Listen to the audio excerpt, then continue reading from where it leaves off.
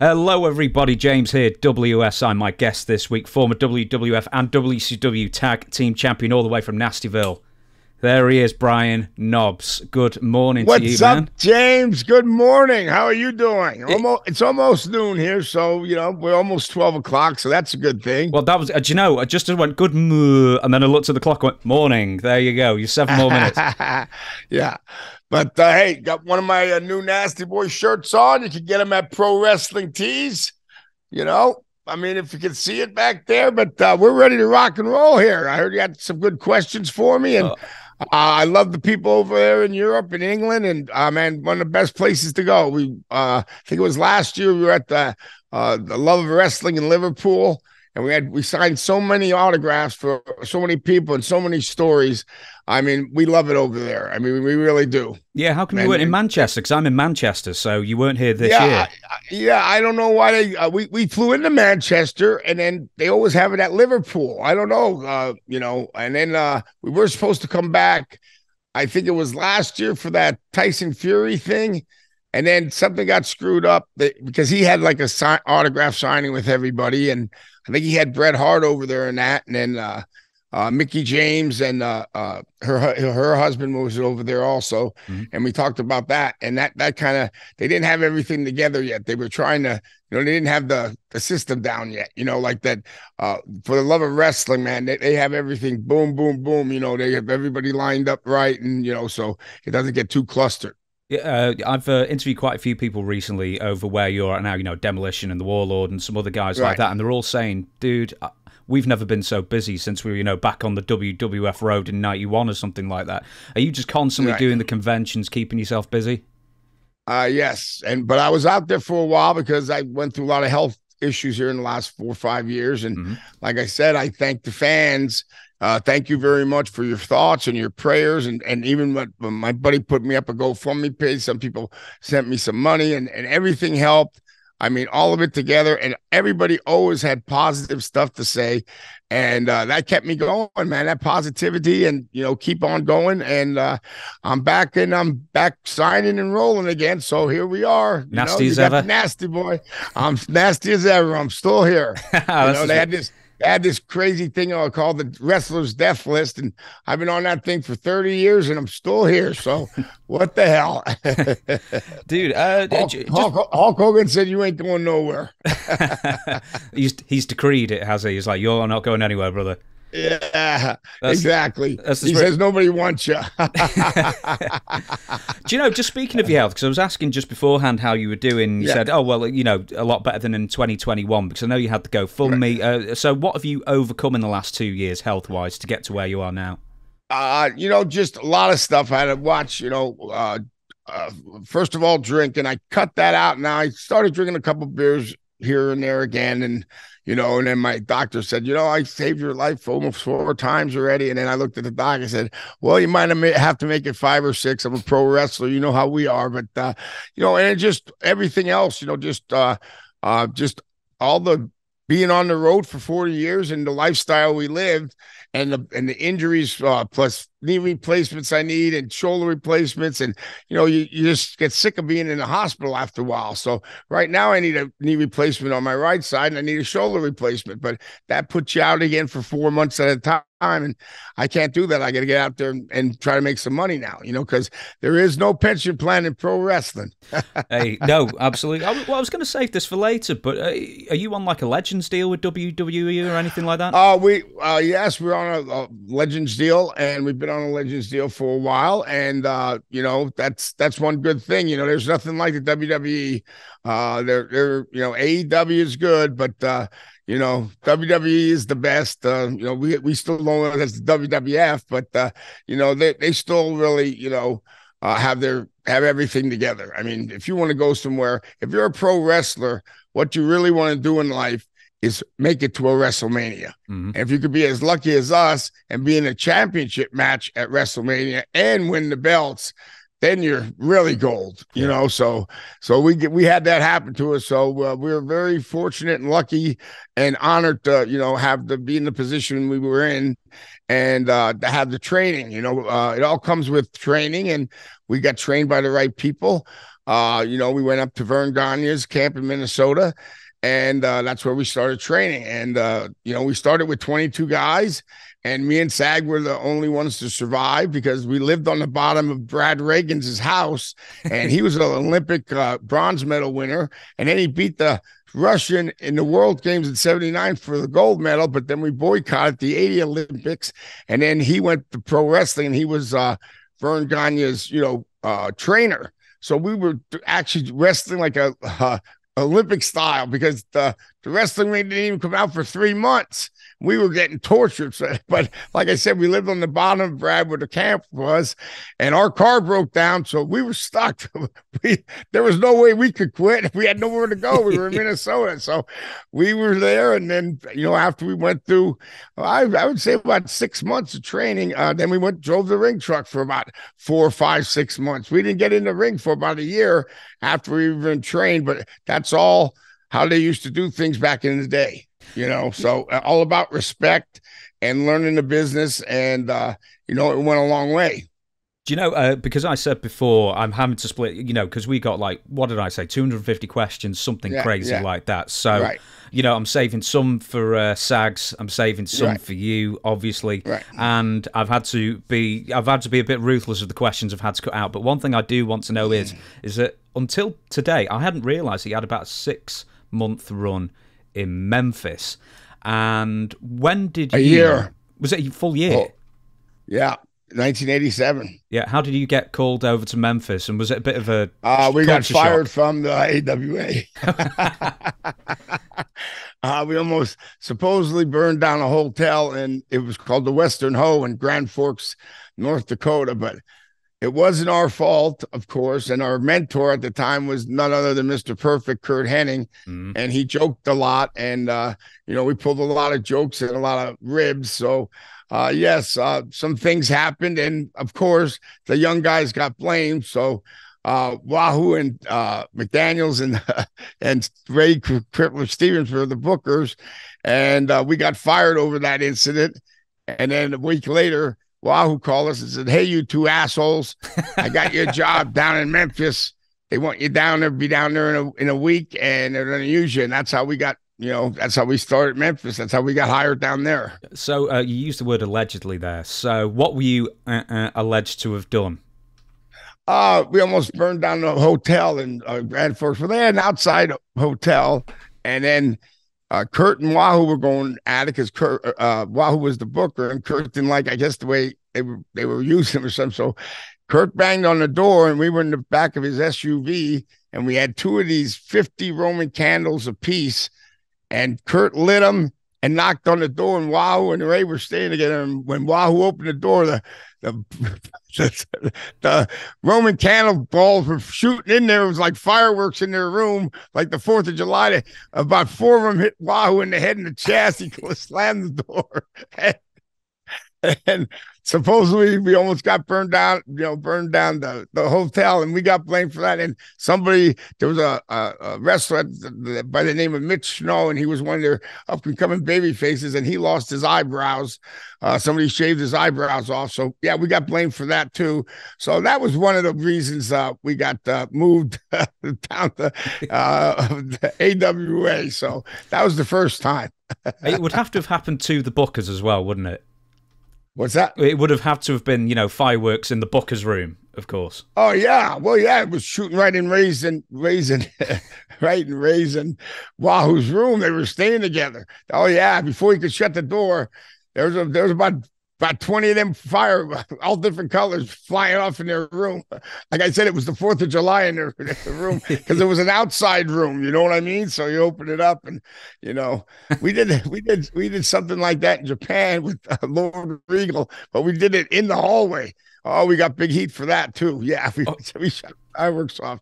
Yeah. We were, we were stupid back then, but uh, we were young and crazy. What can you say? Hey, you un- unbelievably, that may come up a bit later. William Regal did. There is a story about William Regal here later on. Uh, okay. Before we uh, before we get off Memphis, so you get to Memphis, you're there for you know a year or good enough a year. Uh, this fella says, uh, Joe Sledge, where did the anti-social punk gimmick come from? And is it true Jerry the King Lawler gave you the idea to change your look? Uh yes, he did. That that is true. Uh well, we had uh we called ourselves the Nasty Boys. We had these uh at Minneapolis. We bought we couldn't find no leather jackets. We didn't have money at the time, so we had it was a, a big a big ladies' place, and we bought fat women's raincoats that looked like leather, but they uh Curt Hennig called them ple- pleather because they weren't really leather; they were some kind of material. Uh, and uh, then we had a regular wrestling gear on, like we had shiny uh, uh, tights and pants, and so the king called us in and said, "Hey, you guys call yourself the Nasty Boys, but you don't. There's nothing nasty. You don't look like being nasty or nothing. You guys are dressed like regular wrestlers." And then all of a sudden, me and Sag said, "Oh, you know, you're right." So me and Sag thought about it, and right away, the first thing we thought was cover up our bodies because we didn't have bodies like you know Hulk Hogan and the Ultimate Warrior and uh, you know the British Bulldog. So why not wear a sweatshirt and cut the sleeves off, and then all we have to worry about is our arms looking good, and it covers up our body. So we were the first ones that really started started the cover up. You know what I mean? Because mm-hmm. Boss Man did it then, Nails did it. I mean, a lot of people started covering up with their own little gimmicks. So, uh, but and uh, we came up with the splash gimmick, the graffiti, and uh, the only thing we really didn't like is uh, Jerry wanted to paint our faces. So that was too much like the Road Warriors. We weren't trying to be like the Road Warriors, but when Jerry did it, he's an artist. He's fantastic. So it looked great on us. But then when we were on the road and me and Sag had to do it, it looked like two two year old or three year old kindergarten kids face painting with their fingers because it, it, it, was just terrible. But then finally, we you know when we went back up to the AWA, we got rid of the we got rid of that paint. But yeah, he was one of the ones to say, you know, hey, uh, you know, there was there was a there was a lot of different people uh, until we finally got to WCW that helped us out along the way. Jimmy Snuka was another one. Adrian Adonis, Cowboy Bob Orton, they all kind of uh, added in to do, you know, you're, you're, doing something nasty, but you're not, you know, what what what are you doing nasty? That was Adrian Adonis. You're not gouging somebody's eye, eye out. What about sticking their face in your armpit? Ha, you know that, you know, and that that that dawned on us. And then Piper was there to help, and we, you know, we were with Roddy, and all these guys together molded us in from Curt to you know Snuka to you know, Adrian Adonis, the Cowboy Bob Orton, I mean, to Jimmy Snuka, I mean, to uh, uh, Roddy Piper, Hulk Hogan, all these guys, the list goes on. Everybody helped us in our way. And then when we finally hit WCW, we hit the ground running. We were ready. We had five years of, of, of, all these little territories. We went to Florida Championship Wrestling after, you know, first of all, we went back up to AWA. And then we got fired again. I, I don't know what we did that time. I have no idea, but Verne got rid of us again. And then we went down the Florida Championship Wrestling because we met Steve Keirn, uh, who's a good friend. And he used to come up, the, you know, a lot of times to Nashville when we were there because he was part of the, you know, the fabulous ones. So he got to be friends because Curt told us about him.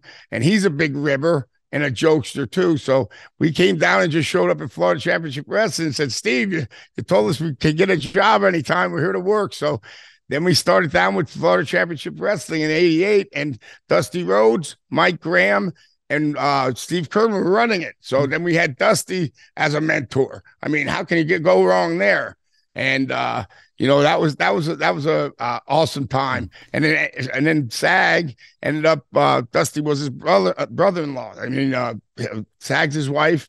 And dusty's wife are sisters so and it just like uh, my wife and greg the hammer's wife are sisters so greg the hammer's my uh, uh, brother-in-law. So we got you know it's all in the family kind of thing here. Do you know, you whenever whenever anyone mentions Greg, everyone always does an impression. It always goes something like whoa, whoa, whoa. something. Like...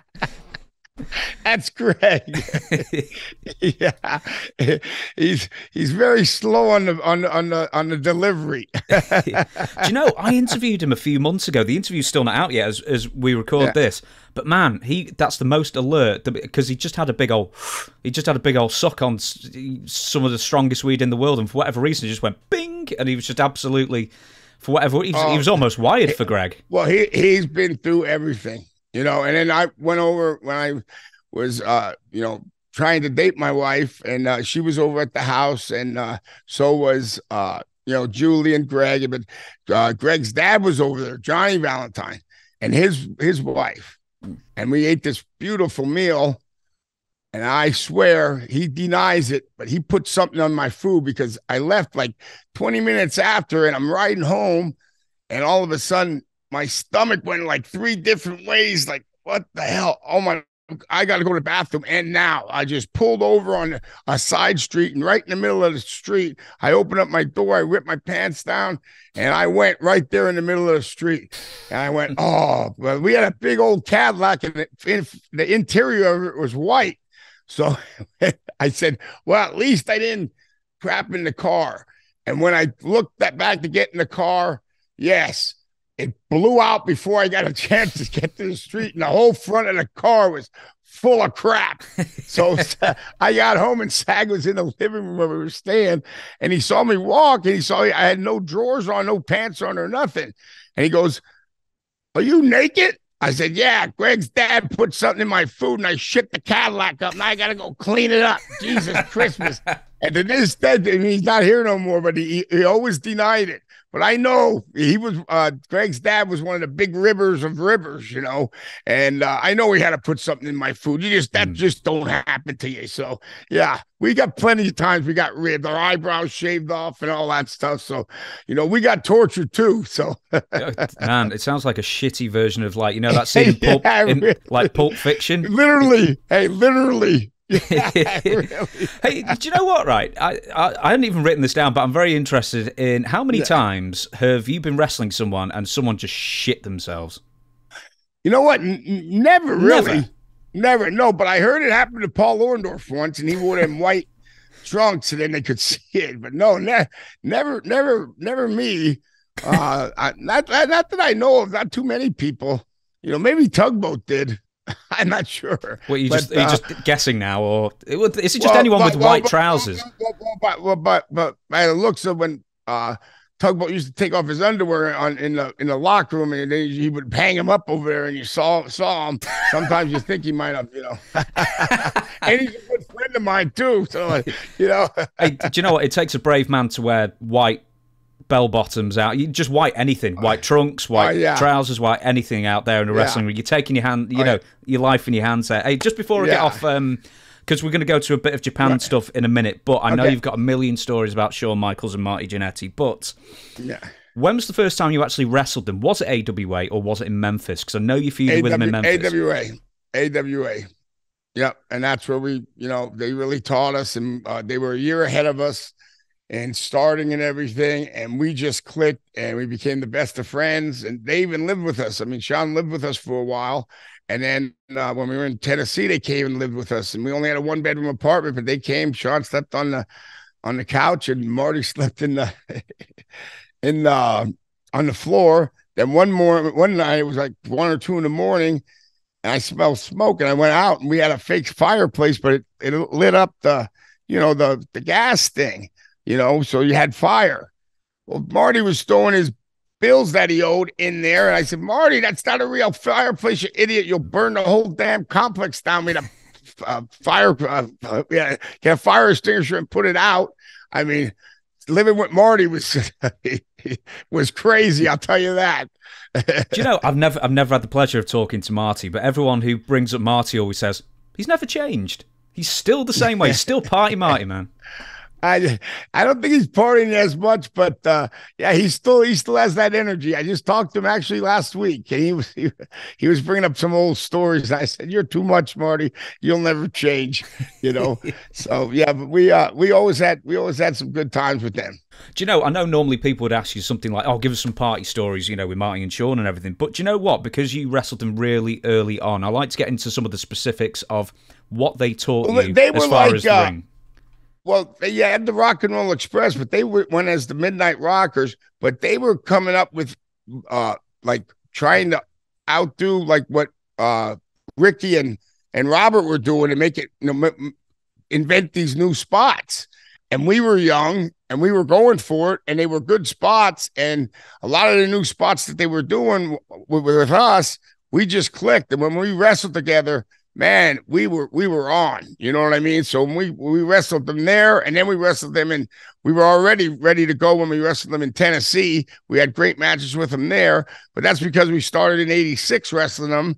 You know, for the AWA. and mm. uh, then then we w- ran back into them when we were in uh, WWE together and WWF at the time, and we wrestled them there too, and had great matches. We had one of the greatest matches with them guys at Royal Albert Hall and it's still it's still out there. They they have that on a uh, one of the videotapes back in the day and everything. But that was one of our our, our best matches with them because we knew what both of us knew each other's moves. Like we knew what we were doing. It didn't matter. It was like bread and butter. Mm. You know what I mean? It's almost like we, we had that kind of same kind of chemistry uh, with. Uh, the the Steiner brothers. We had the same kind of nobody wanted to wrestle the Steiner brothers when we got the WCW. And they said, Hey, they're hurting people, they're doing this, they're doing that. Would you want mind wrestling the guys? And we said, Hell no, we'll wrestle them. And they were, they were throwing us all over the place, man. Every flip, but we get up and punch them right in the face. We're barroom fighters. So we weren't going to take that crap, but they liked us and we liked them and, and, and we just got along. You know what I mean? Yeah. And just like the LOD. Uh, uh, another uh, great pair pairing from over in uh, Europe and England, the British Bulldogs. In '88, we wrestled them in Japan, and that was a tag team tournament, and they took us in. And uh, uh, Dynamite uh, under he used to call me Nobby, and it took me and Sag under his wing, and him and Davey Boy helped us, you know, to show us how to wrestle, what kind of style to wrestle. Because over in Japan, it's way different than it is over here.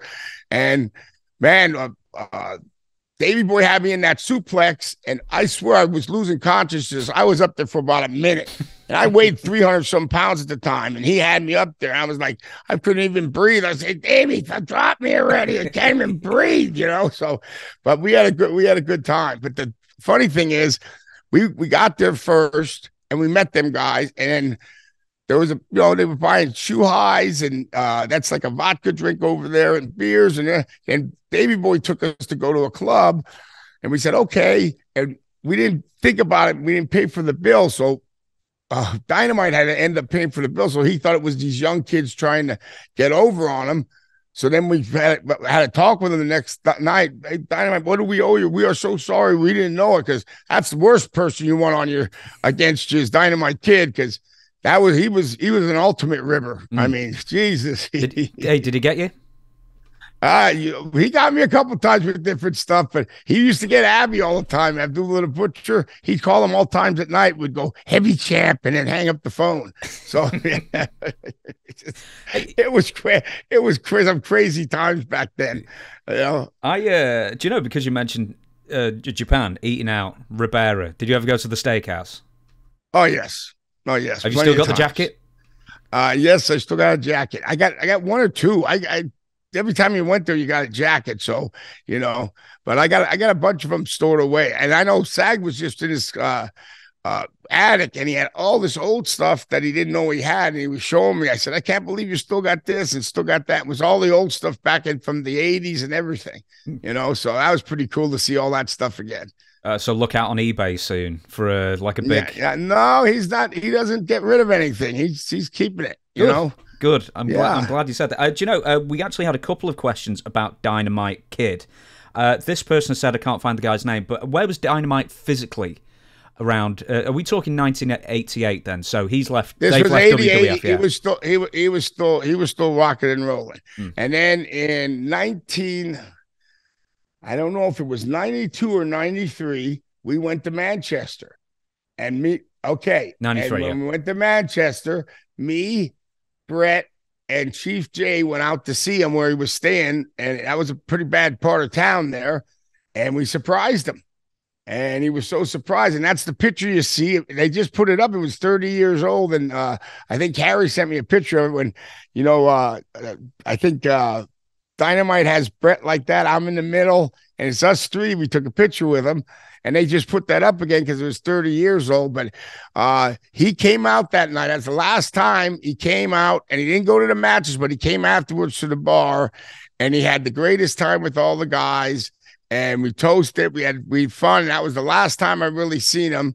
And but he would stay in touch through Harry and that to me. But uh, yeah, he was to me. He was always a, a, a great, great person, and he was always very first class, and and he was just a great guy to us. He, mm. I mean, we have no complaints about Dynamite or Davey Boy at all because they were always nice to us. And Davey Boy lived in Florida, Tampa at the time, and when he was down there, he used to come to our Christmas parties and I had all the time.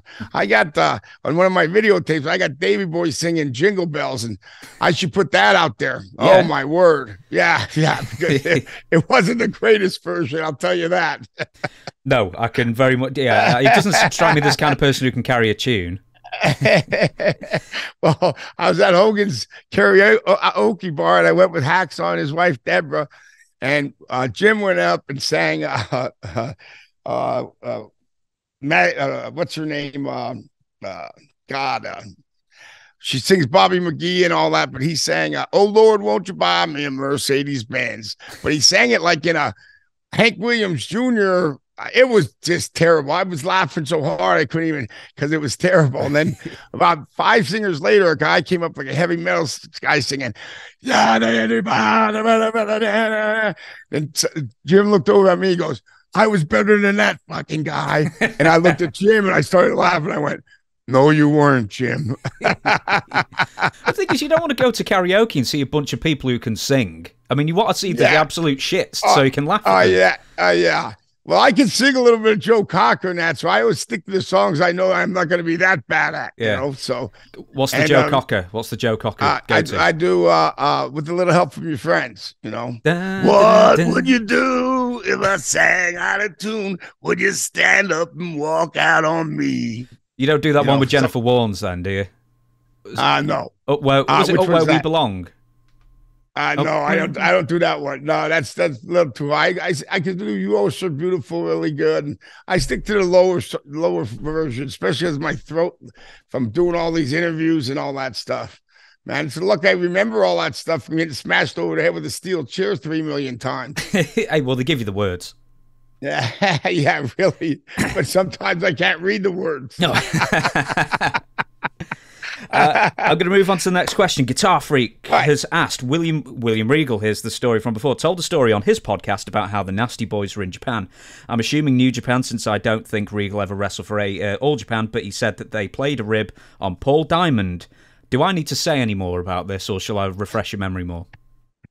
no, I, we uh, uh, yeah, there was some things going on, and Paul Diamond had the Max Moon costume and and uh, we we did some things a lot of things went on but the, the main thing was before he left before we left uh, he had that big you know that carried all the stuff and sag went down to the local fish market and bought a bunch of fish and threw it in there and cl- they closed it up and they shipped it they shipped it to the united states. Now imagine to go through customs and finally to his house and he opened up that box with all them fish in there, and they were probably all dead and rotten. I could have just imagined it must have stank up the whole house. First of all, I mean, I mean, it, it, it was it was brutal.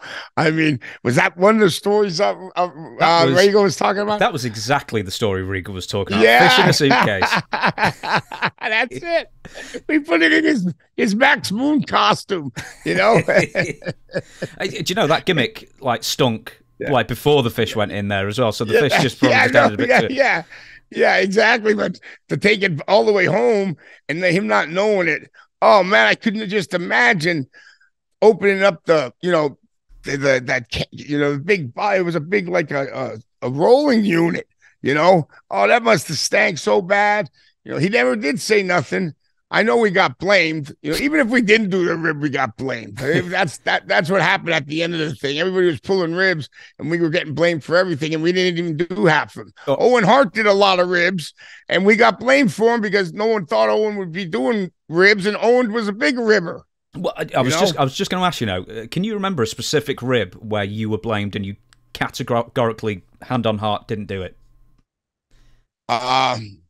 Yes, I did tell you, rib uh, Eddie brought Eddie Guerrero's eyebrows shaved. Mm-hmm.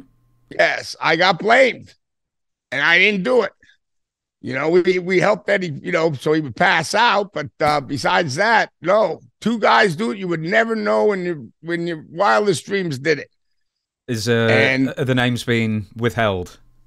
Um, you know what? It's long enough now. I mean, I even got yelled at by Eddie's mom when I went over to the house a long time ago when you know everything was still, you know, we was all WCW. She said, "You shaved my son's my baby's eyebrows off," and I said, "It wasn't me, I promise." But no, I'm gonna stooge it out. One was Chris Benoit, and the other one was Barbarian.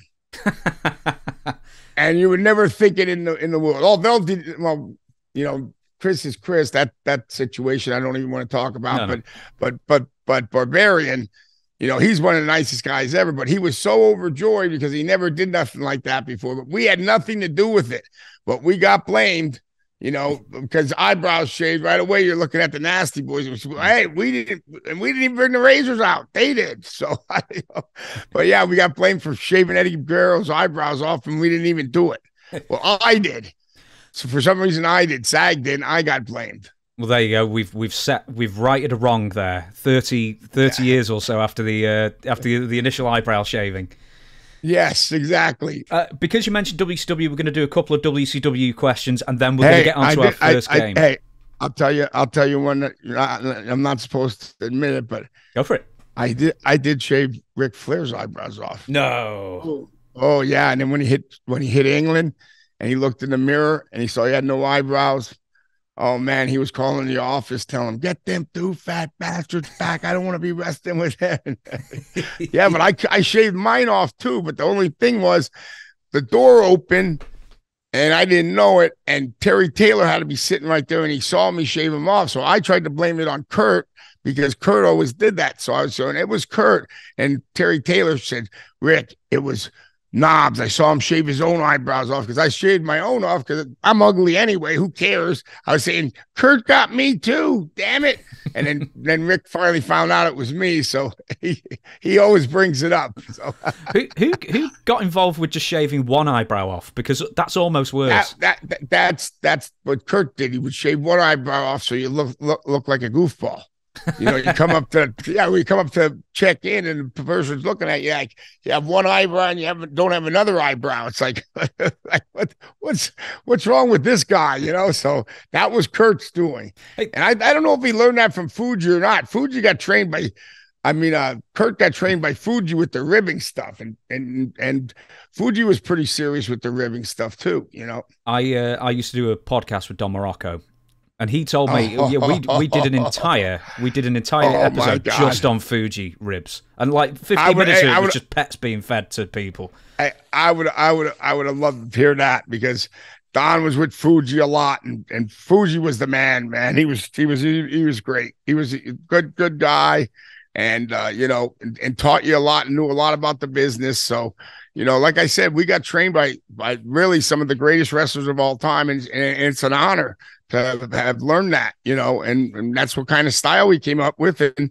it was kind of different style. It wasn't because the Road Warriors had their style, but we weren't like the Road Warriors. We're, we weren't like that strong, you know, the, uh, uh, what you call it, strong stuff. Uh, you know, the power slams and all that stuff. And, you know, we got into just being like rowdy and like we're like we're uh, barroom fighting or something. You know what I mean? So, mm-hmm ah, it worked out good. What the hell? You know, you only live once, go around, and now my body's all beat up, but uh, my body's uh, this bad because you know when Sag got hurt, when I came back to WCW in '99, I went in the hardcore division, and I was the world champ for four years. So doing that for two and a half years, or, or about two years, uh, for 275 days a year it took a toll because they weren't buying us nothing. We were using the old stuff from the building. So me and Fit Finlay were whacking each other with them cast iron trash can lids. Uh, I mean, uh, uh, trash cans that were like like cement. We were going through real tables. Then Finlay almost got his leg cut off when I threw him through one table that was made with formica.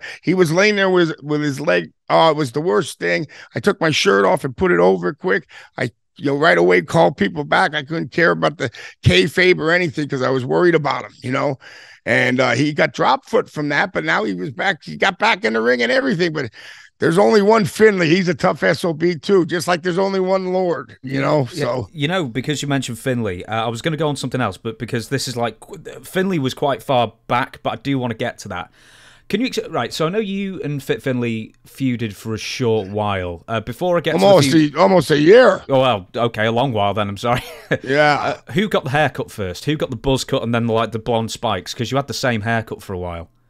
Well, uh, I always had this. So th- this was mine from when I when I came into business. We came in with that, and people were thinking we were the road warriors. And I said, no, you know, we're we're the nasty boys, and you know, we, we had you know I had the mullet, and Sag had the mohawk too. So we came in with that, and then that's when um, Russo wanted to change everybody back to their real names. No nasty, no this no that and then we kind of went into the military thing and then me and fit got together where he trained me remember mm-hmm.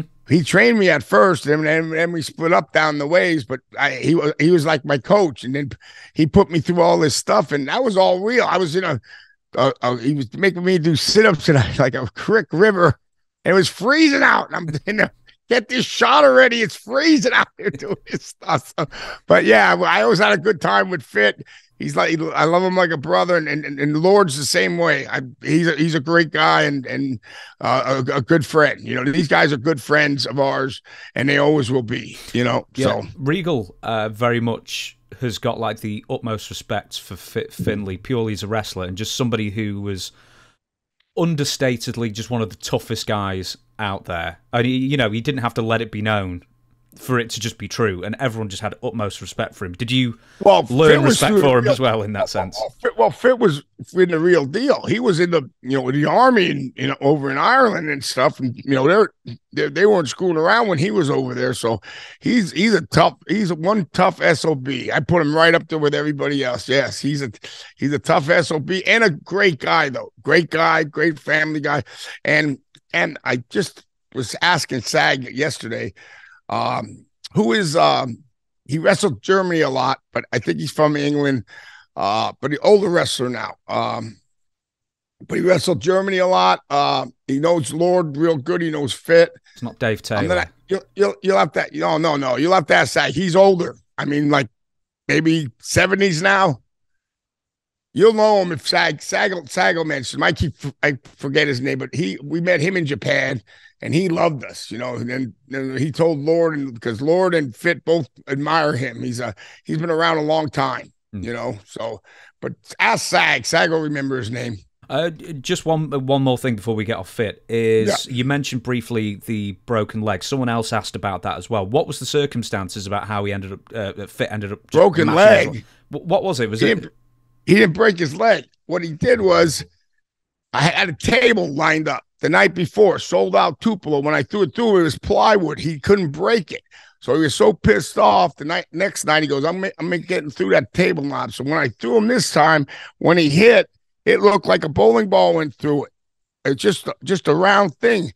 Here, the table with the the, the face of it was made with formica, so it cut him up. So it cut him like an axe, like somebody took an axe and hit him like this right on right where your, your knee and that is. So it was down to the bone, but it cut his nerves and everything. His his leg was hanging open, so he didn't break his leg. He cut. Oh, it was, dude.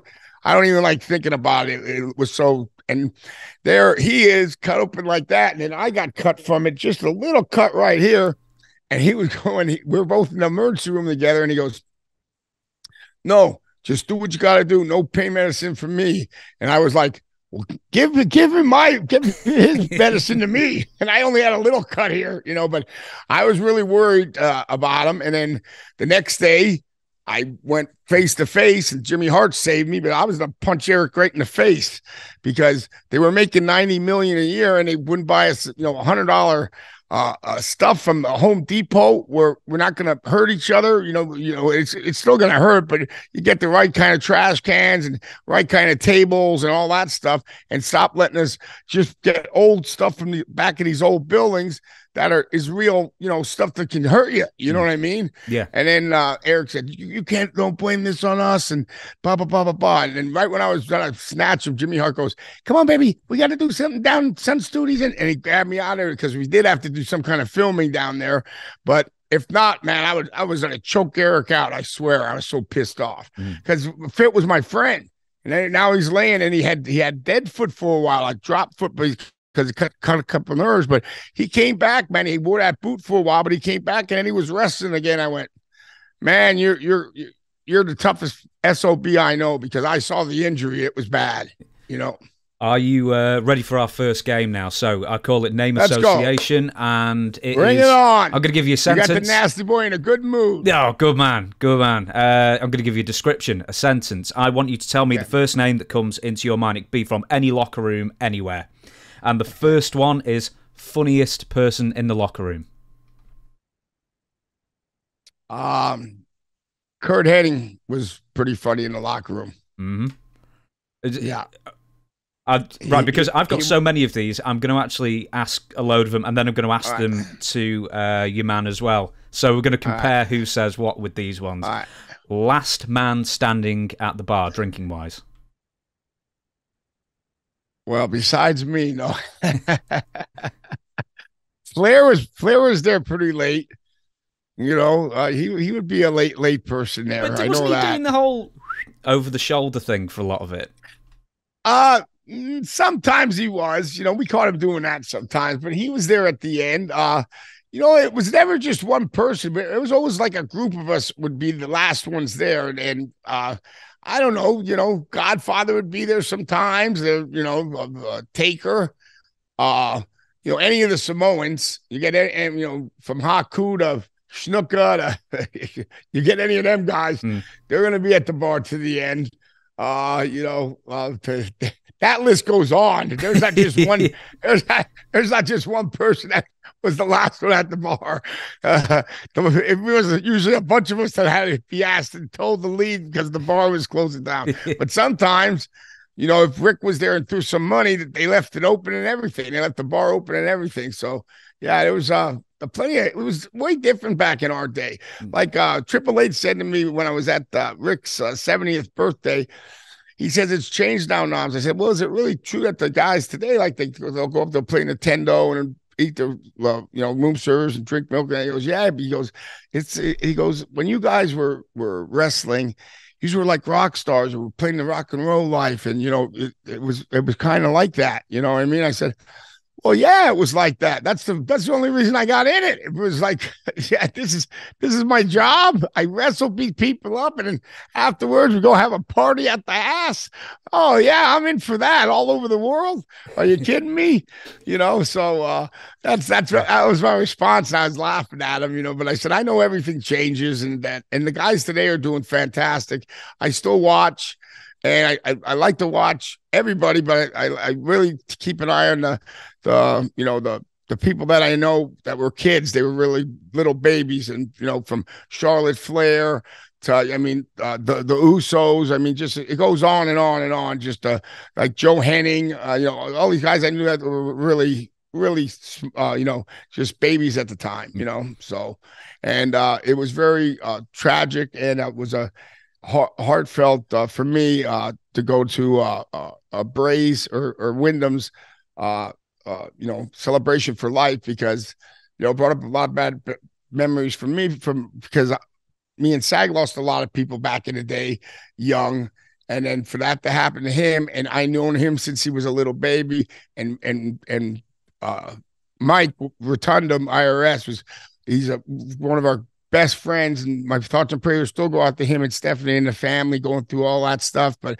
but he was he was there when I got stabbed.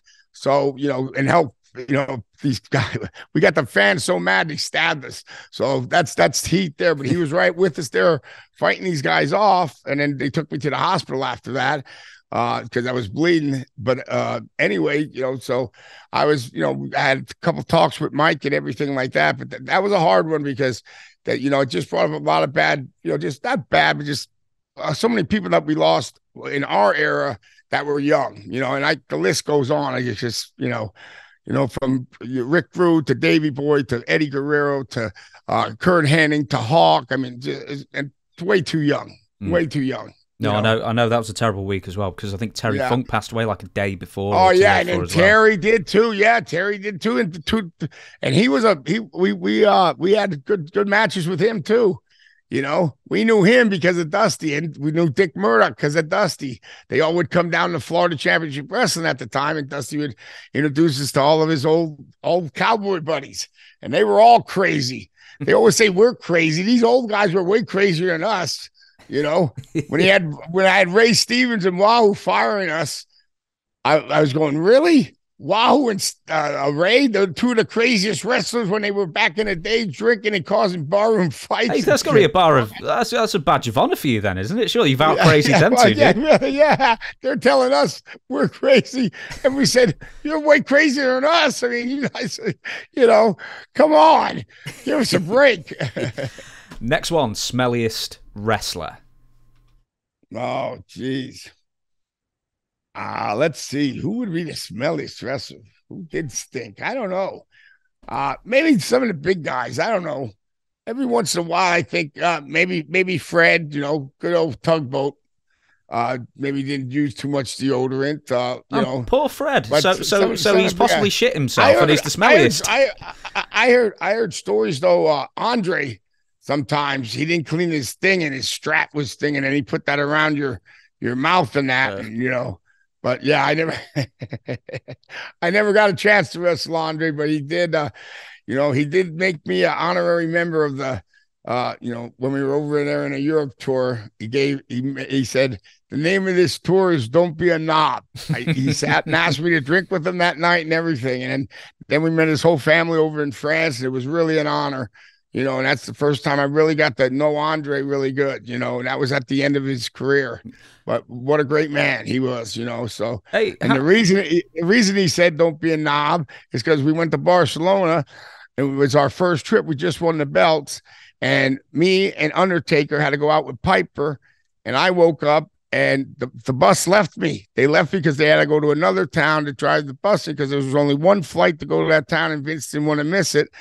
So I'm in Barcelona, not knowing how to speak any English.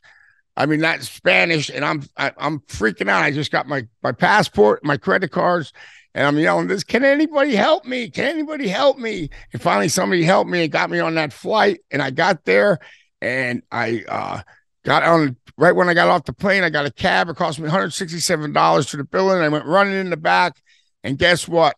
They weren't even there yet because they had to go to a bus and come to the town. So I got there before them. About 15 minutes later, they come walking in. There I was with my feet on the table, and Sid goes, Knobbs is here. And that night, that's when Andre called me over because the old school of old wrestling is, hey, no matter how much you want to party and do your thing, you got to be ready the next day, ready to go, sober, ready to wrestle. You're the world champion, and I he saw me do that, and I gained Andre's respect by by uh, that whole incident happened. That's when he mm. came and told me to come over and sit by him and sit down, and then he said, "We toast," and the name of this tour is "Don't Be a Knob," and he laughed. And I was laughing because if I didn't laugh, I didn't want to get swatted off the seat, you know, because he had the big old hands on him. So, hey, do you know with Andre, like, so obviously, you know, you turned up early, you did what you had to do to get to the building that day yeah. on time. Uh, how generally would Andre sort of judge somebody? How would he judge somebody if they liked him or didn't like them? You know what? I don't know, but I know uh, before I got there, and I heard the story and I saw some of it that somehow they gave Bam Bam a really good fast push, and he got mad. He somehow, uh, Bam Bam pissed him off somehow, and he really, he really beat the hell out of Bam Bam out there in the ring. I mean, you know, Bam Bam thought he was going to kill him. You know what I mean? So, um, I wouldn't want to get him mad. I'll tell you that. and then even for uh, uh, WrestleMania three, this is this is a shoot. And Hulk told me this personally, they didn't know if Andre was going to let Hulkster win. No, he never told Hulk nothing. Uh, and, and Hulk said he got in there early, and all said was sit down, and they drank beer until the until the matches came up. And then when they went out, he still didn't know, but he was there for everything and the slam and everything. But uh, no, he didn't know until until, until it actually happened. You know, and I don't think Vince knew either because Andre did what Andre wanted to do. hey, I, I asked this. I asked this quite a lot of people these days, but everyone always yeah. loves like shoot height stories. Yeah. So, yeah. what was? I mean, obviously, you knew Andre. You know, in the last few years of his life, how tall do you think Andre was then? He kind of shortened up a little bit because he, you know, he was getting hunched over. You know, so I think he was still about. He had to be about seven. He still weighed a lot too you know. But back back when when when Hulk went against him, he was definitely about seven four, and I I I would think about six hundred, probably about six seven hundred pounds. He was he was you know he was bigger than the the Big Show when in, in his heyday. Mm. And back if you really look back in his heyday, he uh was in Japan and he was doing all kind of stuff, drop kicks and everything. You know, so I mean, you got to give it to him. And then you think about it back in that day, they didn't have nothing for big guys like that to fly over. So he was always putting small little, you know, spaces. And, you know, it's like kind of like it was sad, you know, because now they have, you know, bigger plate for big guys. You can, you know, sit. They could, you know, they used to be able to take out that middle seat so he could sit in first class. You know what I mean? So, mm-hmm. but uh, you know, that's old school, and you know, we got that's the way we were brought up. So, and it really helped out with our wrestling too. You know. Mm-hmm watching all the matches. Definitely, you have to watch all the matches. You know what I mean? So, uh, you know that that helps you out. You see how everybody else does it. Uh, next question is stiffest or most reckless in the ring. Wow, the nasty boys. no, I, I, I, won't let you say yourself. I won't let you say yourself. uh, I don't know. That you know, there were a lot of uh, guys that that that laid it in when we wrestled we, we didn't care. Like the, the Steiners are pretty stiff. I mean, you know, th- but th- they never hurt us. Uh, even even Bret Hart, you know, when we, we, they used to throw us in the corner when we had them six man, and he kicked kick us in the head. I would tell Bret, "You're supposed to be the know, Mister Light guy," and I said, "You're kicking our head off every night. What are you What are you talking about?" You know, but uh, there were certain guys on occasions that would play a couple. And the Road Warriors, of course, were were solid. You know, but uh, you know, nothing that hurt us. You know, it, it's wrestling. I mean, you know, you're supposed to be hit, so it's no big deal. You know what I mean? It's, you know, we were used to it, so it was it wasn't nothing to us. So uh, there were a lot of guys that hit hit us back, and and and uh, you know, uh, nobody nobody ever really stepped over the line. I mean, when we when we got sputted, we got sputted, and that you know that's that's part of the game. It happens every now and again. You know. Most memorable thing you ever saw on an aeroplane. Oh. Damn. Well, that you can talk about. no, but I don't. I, I'm. I don't know. We always had good times on, on a plane. We we never uh, we weren't there for that all that that other crazy stuff. But uh, you know, I did have uh, a, a thing going on when you know I, I don't know if uh, the time Ric Flair's eyebrows got shaded, up, but somehow it was like a young guy, old guy feud, and somehow someone picked me to go like you know go go against Piper. Like I'm gonna go against Piper uh, and, and and partying and stuff. Are you kidding me? So I was passed out. He put shaving cream and smacked my face, and I would wake up like a minute later and there was no one around. I had shaving cream on my face. And he did all kind of stuff to me.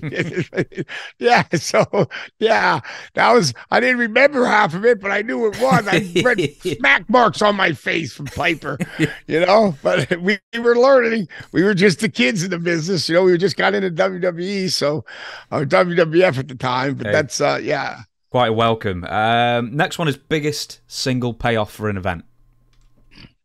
Oh, I God, I don't, I don't know. I can't remember that. I mean, it was it was probably a WrestleMania, uh, WrestleMania uh, when we uh, won the belts from uh, the Heart Foundation. Mm-hmm. That was a that was a that was a good check, you know, real good check. Uh, it, it always depended where you were on the on the card, you know, and and we were champs for a while there. And then, you know, so we were champs for uh, uh, WrestleMania, and then we were also champs for SummerSlam when we lost them to LOD. So that was another good payday. You know, and then we were supposed to get him back at WrestleMania nine, but that's when Brutus came back because he after his face stealing, he was uh, kind of uh, you know whining to Hulk. I'm you know I need money, this and that. So Hulk brought him back as a tag team, and in one month we got you know, we worked the angle for six months to beat the IRS and and DiBiase, and I'm pretty sure Ted was glad he was wrestling Hulkster because more money if you're wrestling Hulkster than you're wrestling the Nasty Boys. But mm. we were kind of pissed because we got knocked off the whole show. We weren't even on WrestleMania nine. So, so know? what was the original uh, creative for that? Then you you were going to beat them clean. Yeah, we were going to beat them. Well, we were going to uh, yeah, we were going to beat them clean because they were the heels at the time, and we were getting back at Jimmy because Jimmy that's when we uh, tossed Jimmy on top of them, and you know, they, they, Jimmy kind of screwed us, and you know, built a thing with them. So that was the angle. We did that for almost six, seven months, and then in one month, boom, we were all done. I had my family and everybody coming out there, and I wasn't even on the show. Yeah. Did, did he still give you WrestleMania payoff anyway? Because they were bumping you from that thing. No. Hell no. And I was mad as hell. I got drunk and I was saying some things I maybe shouldn't have said, but uh, you know, yeah, because yeah, it was just I, I was just I, I was just that's the way of politics go when you know it is what it is. So you know, water under the bridge now. Mm. Uh, right, I've got a question. I'm, I'm going to deviate here a bit. I, I, really want to know this because right. I've asked a couple right. of people. They've all got their own theories. Why did Hulk Hogan turn up at WrestleMania 9 with a big black eye? Why? Because he was in a wave runner accident about a week before that, and he almost lost his eye. But yeah, he was in a wave runner accident and he, he fell off. And I think whoever was next to him, he, he got hit with the wave runner in the face. And he had he had to go, he had to go in the go in the hospital and everything, you know. And that kind of that's why he was uh you know, they they they worked on him there for a while, but everything came out good, which was good. But he could have got seriously injured there, you know. So, but yeah, that was a, it was a wave runner accident before that. Do you know? Right. So I, I know you're going to tell me this is false, but there's been an internet rumor for many, many, many years that Randy Savage calls the black eye. Is that just no. is that just complete nonsense? No. That's stupid. Yes, yes, that is. That's complete nonsense. They were good friends. You know, they broke split up there for a little bit, but at the end they, they became friends again. So, you know, and he misses Randy a lot. I know that. You know, they were they were they, they were like uh, bread and butter when they were in uh, Florida together. So next one I've got now is uh, most high strung or edgy nervous kind of guy. Oh God, who is high strung? I don't know. Um, my brain's so dead I can't remember, but I know there's some there were some guys that, uh, out there always always nervous. Oh God, like uh, God, I nothing comes to mind right now. You know, nope. get the next question. Nope. I, I, don't know who edgy, like uh nervous wise. I I just can't I can't remember. That's fine. I'll move on to the next one. Um, did you ever refuse to lose to somebody? No, never. Never. Not not even when we uh uh we weren't gonna we didn't feel like losing to the Steiners.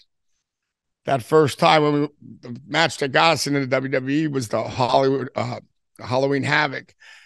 And then Kevin Sullivan took me and Saget aside and he said, Hey man, you know, why not? Let him do the Frankensteiner. You'll get over it. We were getting our heat back anyway. And we both said, you know what? You're right. That's serious. You know, uh, let's do it. So that was the only time we ever kind of questioned what they were doing. But besides that, no, no, no other time. You know, what, what, yes, one other time. Uh, when we were about to leave, uh, they were trying to let the Steiners beat us because we were going back, we were going to WWE. And we said, uh, no, we're not going to do that. We're going to do a DQ and, and, uh, you know, that's it. And then, they went to the Steiners to try to have the Steiners like beat us you know, legitimately. And Ricky and and Scotty stuck up for us, said, We're not doing that to them. They're, they're, our friends. We had great matches with them. They're going up to WWF. That's the way they want to go out. Fine. So that pissed off that Jim Herd and and I don't know who else was in there at the time. I think Jim Ross was in the office and stuff like that. They didn't like that the Steiners took took our side, but the Steiners took our side and said, nope, they weren't going to do it. So uh, someone actually uh, wrote in beforehand, and I might as well ask it now. Uh, someone said that you took a particularly bad Frankensteiner once, so you managed to land like right on your head. Do you remember when that was? Yeah, that that that was the that was the one match he beat me at. Yeah. yeah. Yeah, you watch it, but it's on Halloween Havoc. Yeah, he beats me with the Frankenstein there, and it looks like I landed right on my right on my neck. But but Orono was calling me a jellyfish, so thank God I wasn't the, the muscular one. I probably would have broke my neck, but no, I didn't get hurt at all. Not not at all. You know, I mean, even when uh, the, the worst one I took, I don't know if you ever saw it, was uh, when we wrestled uh, Cactus and Max Payne. Yeah. And Max Payne threw me the wrong way. He was supposed to do me a belly to belly, he gave me a, a, a over the top, and I was thought he was going that way and ripped out my shoulder. You know, my shoulder landed, my back of my feet hit my head. I you know bent so much, and Rick and them guys thought I was really screwed up, but I did tear my shoulder out. You know, and then you see Sag his reaction. He came in with the guitar, and that was a truthfully a real shot there with the guitar. That was no, uh, uh you know, no, no light stuff going on there. That was the real deal. uh, next one is best jobber. Uh, best jobber.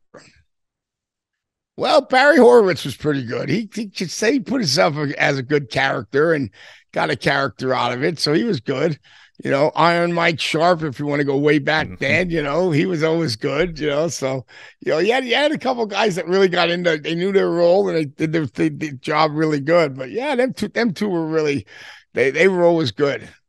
Right, this next one I've never asked anyone before. Who were the wrestlers who carried a gun with them? Uh Bill Dundee was one of them. uh yeah. just we just talked to Jamie, in fact, as well about uh, Bill yeah, oh, Oh, you did? Yeah. Yeah. We yeah, we we uh Bill said he was in the shooters one time and we we smacked Jamie up a little bit because he was, he was real young at the time and he was real cocky. So we I held him and so I gave him a couple real nice little slaps, just teach the kid, you know. you know, nothing's changed. Was, nothing's changed. Bill came, Bill came and said he was going to shoot us, and I go, bring that gun in here, and I'll stick it up your ass and pull the trigger. So, uh, uh, next one is, and everyone's always got an answer for this one: uh, the best and yeah. worst road agents. Well, they were. Some of them had good intentions in mind. Like George Steele is who we bugged to get in the business. But then when we became an agent, he turned into an ass. Like you know, you know, finding us if we're two five minutes late and stuff like that. You got to be an hour there, be an hour before.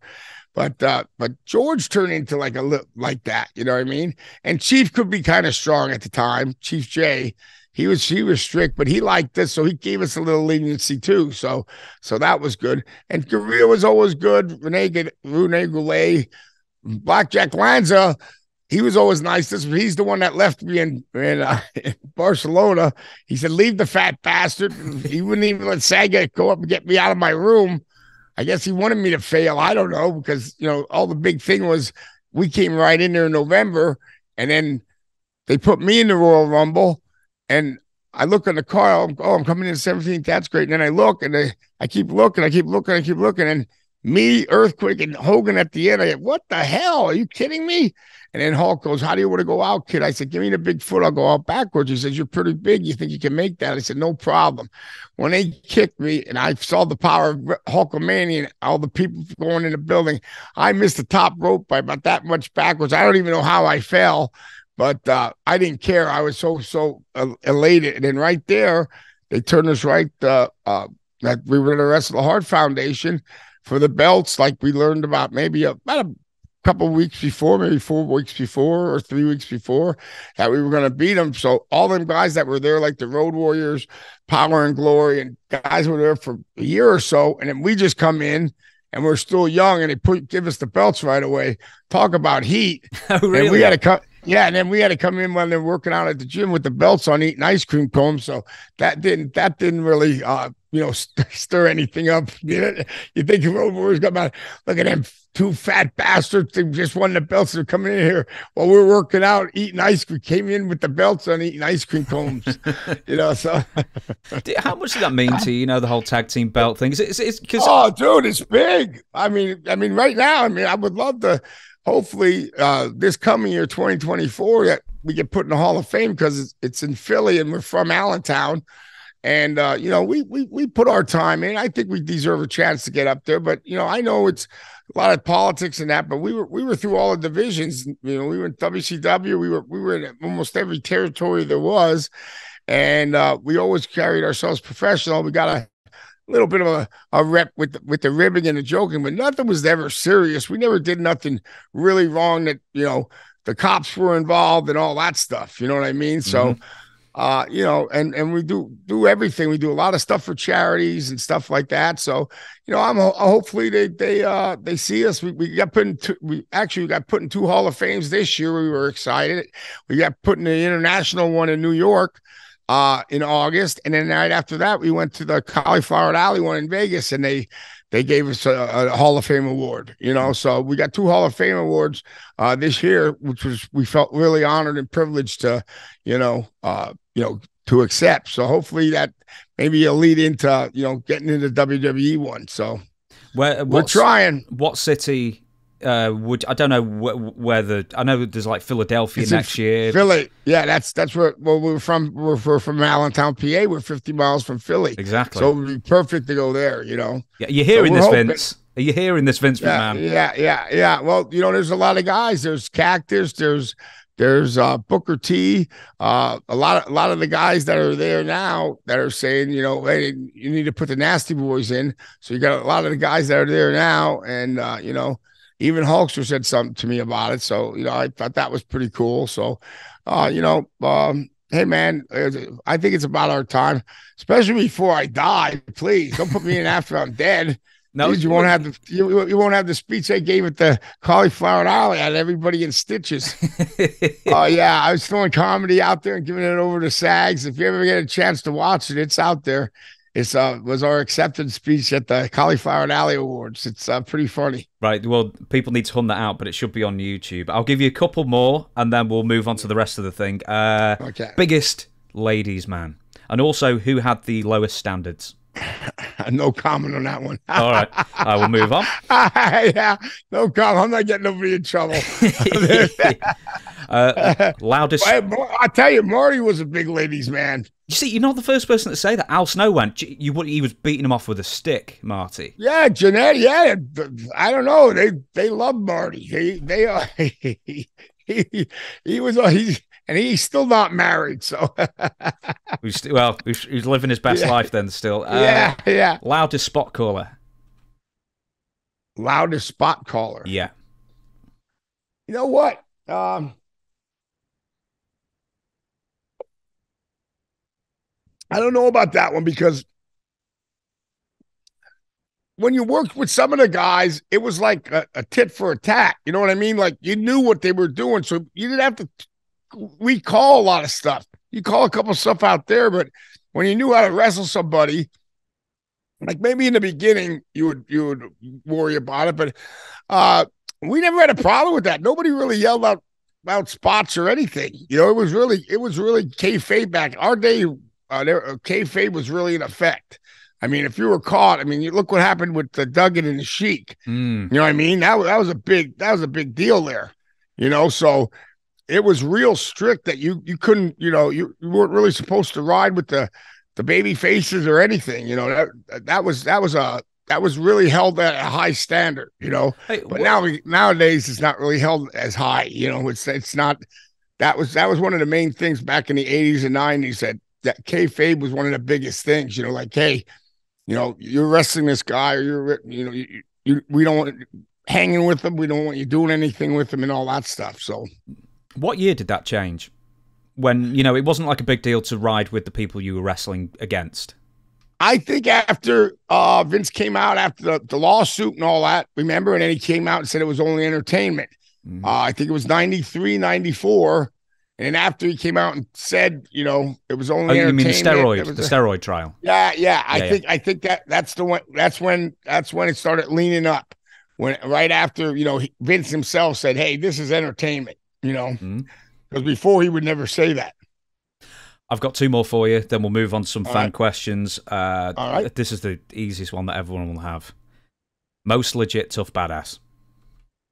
What's that? Uh, most legitimate tough badass? Well, you got a couple of them. You got Haku, of course. Mm-hmm. Uh, you got uh, uh, let's see, Jimmy Snuka was one. Um, but put it this way, uh, any of the Samoans were right there. Um, who else? Uh, Sags is in there. Uh, you know, he's he, was pretty. He could fight pretty good. So he was he was he was a legit badass. Uh, let's see. I'm missing a couple people here now on, my, top of my head. I was just thinking about this the other day, but uh, oh, uh, Rick Rick Rude, Nails, another another big another, another tough guy that you didn't want to mess with. Uh, uh, let's see who. I'm trying to shut my phone off here. Okay, sorry about that. Uh, anyway, uh, um, let's see. I'm missing. I'm missing some people because oh, Hawk, got to put Hawk in there. You know, uh, yeah, Hawk was a hell of a, a fighter too. You don't want to. You don't want to fuck with Hawk. Um, there's probably a few more I'm missing that I don't, don't have. I know Rude, Nails, Haku, uh, Hawk. Uh, I put Sags in there. Uh, you know that were uh, they were legit. No, nobody's Jimmy Snuka, like I said, a barbarian. Nobody messes mm-hmm. with Barb either. You know, like I said, you don't mess with the Samoans at all. I know, but the thing is, everyone seemed to want to mess with Haku. That was the that's the weirdest thing. Like people seem to make a beeline ha- to mess with Haku. Well, I never saw that. No, I, I no, I never saw the uh, I mean, like people fans? No, no, I'm talking like it because I had Warlord on very recently, and he said he was in the bar once when just a group of like guys in the bar just started crowding him, calling him names, and you know before that, you know before a blink of an eye, he'd knocked all four of them out. But like people, for whatever reason, seemed to were they were they wrestlers or fans? No, they, I'm not even sure they were fans. They were just dudes at the bar. They weren't wrestlers. Oh yeah, yeah, yeah. Well, that's you, you get that. You know, yeah. and put it, put it this way, they picked the wrong the wrong guy to screw with, you know. Mm-hmm. And then uh and then uh, uh, he's not a wrestler, but Hulk uh Hulkster uh, introduced me to him, but he's a badass, and uh, you might know him. He's an actor too, but he's there with the Hell's Angels and all that. But Chuck Zito, yeah, you know. So I said at at Hulk's uh, birthday party we just had for him, I had Sag there, Haku on the one side, and Chuck Zito on the other. I said, we don't have to worry about no security at this party. We're covered. you hey, know, did so. you go to the wedding? Uh, no, I did not. It was very private. It was only uh, Nick and his uh, uh, his fiance and uh, Sky and her kids, and, and that's it. It was a very small, uh, intimate wedding.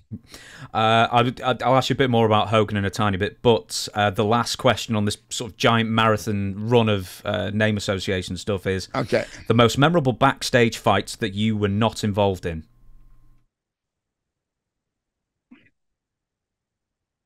You know, I never really saw no backstage fights. What I saw was I saw early on. Uh,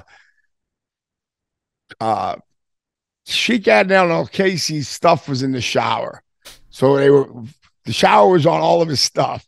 So when Kevin Nails, Kevin Kelly came out, he bought a brand new truck. He had a Dodge Ram and he used to have that big Ram fan, and Curt's driving with him. So somebody ripped that hood ornament off. So he drove with Curt all the way home for four hours and Curt was on. Well, Sheik Adnan got his stuff put in the shower, so it must have been Sheik Adnan that ripped your hood ornament off. And Kevin was pissed. So we're already in the interview booth, uh, you know, the interview at AWA, and then, uh, you know, uh, Sheik Adnan comes in with a cup of coffee, and he's going bada bada to everybody, and Kevin came in about two minutes after with his bags, put his bags down, and just started blistering them. I mean, beating the hell out of him, knocked him through the wall. And then Greg Gagne said, Kevin, Kevin, stop it, please. There's a lot of expensive equipment around here. he didn't care about Sheik Adnan. He was caring about that. But then after that, Greg gave up like a 15 minute speech. This ribbon stuff gotta stop. After he was done with all, everything, Curt Hennig had to go. Good job, nasty boys. And, and oh, Greg looked right at us. That's it, you guys. And we didn't have nothing to do with it. We didn't have nothing to do with anything. But this good old Curt threw our name under the bus. And we were getting scolded and almost fired again. Back to Memphis, maybe a second time. Hey, do you know what? Just because you mentioned Nails before, there's yeah. a very famous story with Nails. You know what it is. When he was a bit upset with his SummerSlam 92 payoff and he went to visit Vince. What happened? You uh, asked Sag that question because Sag saw the whole thing. The door was open. Really? But he went in. He went in there asking for more money, and Curt is the one that stirred that up because he said Bossman got paid more than him, and I don't know if that it really happened or not.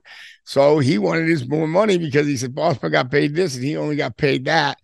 And uh, you know, he picked him up by his throat and threw him down, broke Vince's arm and everything. But ask Sag, because Sag actually saw it. And then Sag yelled, He got him, Sarge. And then Sergeant Slaughter went in there to try to break it up, you know. So but Kevin didn't leave the building. Kevin went right on the phone, called the cops, said my boss tried to, you know, do something to me there. And and he stayed there till the cops got there. And and there was like an aura around Kevin. Nobody wanted to come near him or nothing. They were all scared. But you know, me and Sag went up and we knew him since you know we broke into the business. He wasn't even in the business yet when we broke in. You know, so he got in a little bit after. Uh, I always like the old stories. If you're going to confront the boss, you better be prepared to quit. Overpay. well, he was he was he, he did much more than that. Okay, right. So more fan questions, and I know you've okay. told this story a load of times, but right. everyone loves it. Uh, Don C has asked one of the funniest stories in wrestling lore is Brian's poison gas attack on Elizabeth and Macho Man, and getting fined for it too. Could you tell us the story? That was SAG, first of all. That was the fart heard around the world. He's cl- he, right. He's blaming you for that. No, but it wasn't me. It was SAG, but SAG didn't know. We just flew over from uh, the States and we landed in, uh, I think we landed in London. I don't know if Heathrow, but everybody's getting their bags. And SAG didn't see Elizabeth behind her, but he picked up his bags. And when he does, Elizabeth was picking up her bag and she was maybe a bag or two behind her. But he, SAG left the biggest fart I mean, like a minute long, and he could have blew dry her hair with the fucking thing. I swear. And right away, who jumps on it? But Davey Boy, oh my word. Sag just put it in Elizabeth's face. Oh, that's all we need. Then Macho was going, it's it, Sag. Oh my God. And then that's not all that happened. Then when we went out for his limo, Ric thought it was that limo was for him, and he stole Randy's limo. Now Randy's standing on the outside of the airport with no limo. Ric Flair took his limo. yeah. So then uh that night uh we went out and it, I no, you know, I think we went from there to Italy. And then when we went to Italy, Sag got drunk and and f- passed out in between the damn elevator doors, and they were going like this. And who comes up just after having dinner with his wife, with Randy, and it was Sags in the middle of the uh, on the door there, and then he took the ele- elevator up. So I saw I saw him you know, uh, yelling at Sags that Sags' door was open. I went in there and Sags is like a little kid at the bed, and Randy's going back and forth. And he's going, It wasn't really you that I'm mad at. It's a fucking Shawn Michaels, da, da, da, you know. But then we get called in to uh, George Steele's uh, bedroom, you know, and he says, Vince wanted me to have a talk with you because Randy got so mad, he made Vince fly Elizabeth home on the Concorde and then fly her back because it was a live sky going on in England like two days, three days later. So he, you know, he had to fly her back and forth. And then he said the SAG, uh, Vince McMahon just wants to know, Jerry, that is the most expensive gas you will ever pass. and, they, and, they, took the money out of Sags's check. No, how much? Yeah. That, how much is that running back? I don't know. You're gonna have to ask him. I ah. don't know. They, they, took, they, took, they took it out of Sags's check man. But yeah, Concorde. it was called the fart. It was called the fart heard around the world. right. Okay. So I need to ask you about nails. I need to ask you about the fart heard, heard around the world. Okay. Uh, uh, next one. Uh, do you know what? Because this might actually be the same answer. But what is your crazy story in the UK or Europe? Or was it always like every single time you came over here, it was just like total bedlam, all the rules out the window kind of thing? Uh, well, well, no, but the the one of the craziest times we had over there was. uh we had so many. I mean, I, I threw uh, Ric Flair's shoes at the Stringfellows across the bar. I said, "Are these these two thousand dollars shoes?" Because he was bragging. I took them and whipped them, and the, and the bar was packed. I just took his shoes and threw his three thousand dollar alligator loafers across the bar, and then yeah, and then uh, uh, uh, there was also uh what else did it happen to him one of the tours? Oh, geez. I mean, that, we had so many good times. Oh, Wembley. Sag uh, was late to get on the bus and he didn't want to get on the bus. He said, just go, you know, this and that. So we all got on the bus and we weren't getting used. We were the first match at WrestleMania with uh, me, sagging a Mountie against the Bushwhackers and Hacksaw. Yeah, SummerSlam. So they were worried. SummerSlam, not WrestleMania. Yeah, Sum, yeah. SummerSlam. Oh, sorry, SummerSlam '92, mm-hmm. and uh, they were, uh, you know, we had the first match, so they were more worried about the other matches, and Curt didn't have nothing to do with Mr. Perfect.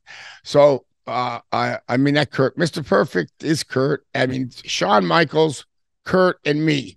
So we got in there, and there was nothing for us to do. So you know, Curt, let's go up on the top of Wembley, the the city, the the town up there, and we went up there and drank. And then when we came back, we had a good, we were feeling good, this and that. And there was Sag in the corner and he was getting screamed at by Vince. Who do you think you are? You didn't get on the bus. Da, da, da, da, da.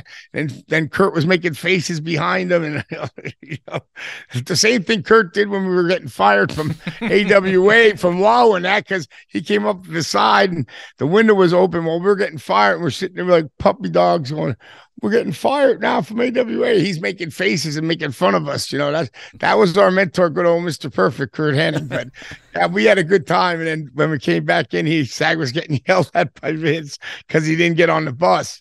You know, he took a cab over, but he was late, you know. So oh yeah, that was funny. Hey, um that was, that was still a, one of the greatest matches because nobody did nothing. Remember, your first match, it even wasn't on the pay-per-view, but it's on the the, the DVD or the the cassette, but we were the first match. Nobody did nothing yet. I mean, the people from England were yelling USA with Hacksaw. You know, I find that I still find that unbelievable that, that like and, Hacksaw and, was so over that you could get the English yeah. fans to chant USA. Yeah, and then you had the Bushwhackers, who the people loved anyway. And we had a fantastic match. We went about 10, 12 minutes, and nobody had did nothing yet. So the people were waiting. And the first we we blew it away, man. We had a we had a great match. We were all pumped up, and I was one of I was one of the most memorable. Besides WrestleMania, that was another most memorable one of the matches in my life. Yeah, you know. With um, I interviewed Bushwhacker Luke some time ago, and you know he's been in the business centuries. God, Luke has. years, Yeah, sixty years, yeah. something crazy, and he still holds that as maybe his most special moment ever. So I mean, that really yeah. speaks to it. I mean, is that the same yeah. for you? Uh yes. Uh I mean it, it it is it you know there's there's uh there's a lot of different matches that are out there. I can't just pick one, but uh, definitely one of the favorites are uh you know the when we won the titles uh in WrestleMania 7 and Bret Hart even says to me and Sag that's one of his favorite matches ever, you know. Uh and I, I was like, you know, that to me Bret saying that to us, you know, uh, it was is pretty awesome, you know, and it was a good match. If you look back at it, it was we've had all kind of stuff going on in there, you know. And uh, you know, that's when Jimmy came out with the helmet and all that stuff. But there, all the actors were in the front and stuff. It was a funny story. I was just at the Boston Comic Con uh, two months, three months ago, right? And I'm there with this guy. He has the cool zoo, so he has animals there. So he had me with him, and then he had the guests over there, and uh, Henry Winkler, the Fonz, came over to see me and to see how I was doing because he was sitting in the first or second row with Colleen McLaughlin for WrestleMania 7. And he came over to me to ask how I was doing, how my wrestling's doing. And I thought that was pretty cool. After all them years, I haven't seen him since 1991. he came over to me and over to my where I was sitting and asked me questions. We took a picture together and all that stuff. And we talked for about 20 minutes. And I thought that was awesome mm. that he still remembered me and all that stuff. So yeah, I remember. Uh, I remember because that was like the first tape I had, pretty much. So it was Henry Winkler, Macaulay Culkin, Donald Trump. Yeah, I think was there. Yeah, yeah. Was Donald Lou, Trump was Lou there. Ferrigno, I think he was there. Uh, uh, yeah, and then you had uh, Regis Philbin was yep. at, at one of the announcers. They had the guy from Jeopardy. He was in there. And Willie Nelson was there. Well, Willie is my friend, so I known him since '88. So that night after WrestleMania, uh, I took a bunch of the boys and he was staying at Santa Monica Holiday Inn. They were remodeling it. And Curt dad, the axe, was giving Curt crap, saying, This guy don't know Willie Nelson. Da, da, da, and Willie was doing business upstairs. Finally, Willie came down and we had the greatest time. He sang Angel Flying Too Close to the Ground. I said, If you sing that, without no music. He sang it. It was great. I said, I'll give you the belt. And I gave him the belt. The bar closed. And then we went to Willie's bus and we took all the wrestlers on the bus and we I guess we destroyed the bus a little bit, but uh the, the bad thing was that at the end of the night I go, Willie, I, I need that belt back. I need it for tomorrow's TV. So I was like an Indian giver. I gave because he was wearing the thing like a country belt buckle. He loved it. I got pictures of that and everything. But I had him in an airplane spin. He had this thing that said, screw you. It was like the last final word. I said, you play hit that one more time. In an airplane spin. He hit it. I had old Willie Nelson at 60 in an airplane spin in the middle of the lounge bar at the Holiday Inn.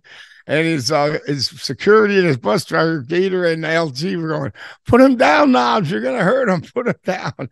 But uh, Dusty passed the torch to us in 88 when me, him, and Dustin, me, Sag, and Dustin went to meet him in, in uh, Clearwater, Florida. And after that, he got a like, took a liking to me, gave me his number, and we've been friends ever since. There you go. You know? Has he still got the tag title, or did you get did you get it he, back? Uh, he, he, uh, no, uh, he had to give it back. I needed it the next day, you know, so he gave it back, and I did. That was one of the uh, uh presents I gave Hulk. I had uh, on days known as I had Willie sing him. Uh, uh, you know, happy birthday for his 70th. And then afterwards, he goes, Hulk Hogan, the big 7 0, that ain't shit because he just turned 90. So I finally had somebody giving Hulk shit. And Hulk, Hulk gives me shit. Wait till you turn 70 because I turned 60 and I'm always complaining. So, you know. hey, you, you, you, know, the really famous uh, quote by Willie Nelson is uh, something about youngsters. The youngsters out there really need to think about the world they're going to be leaving to me and Keith Richards.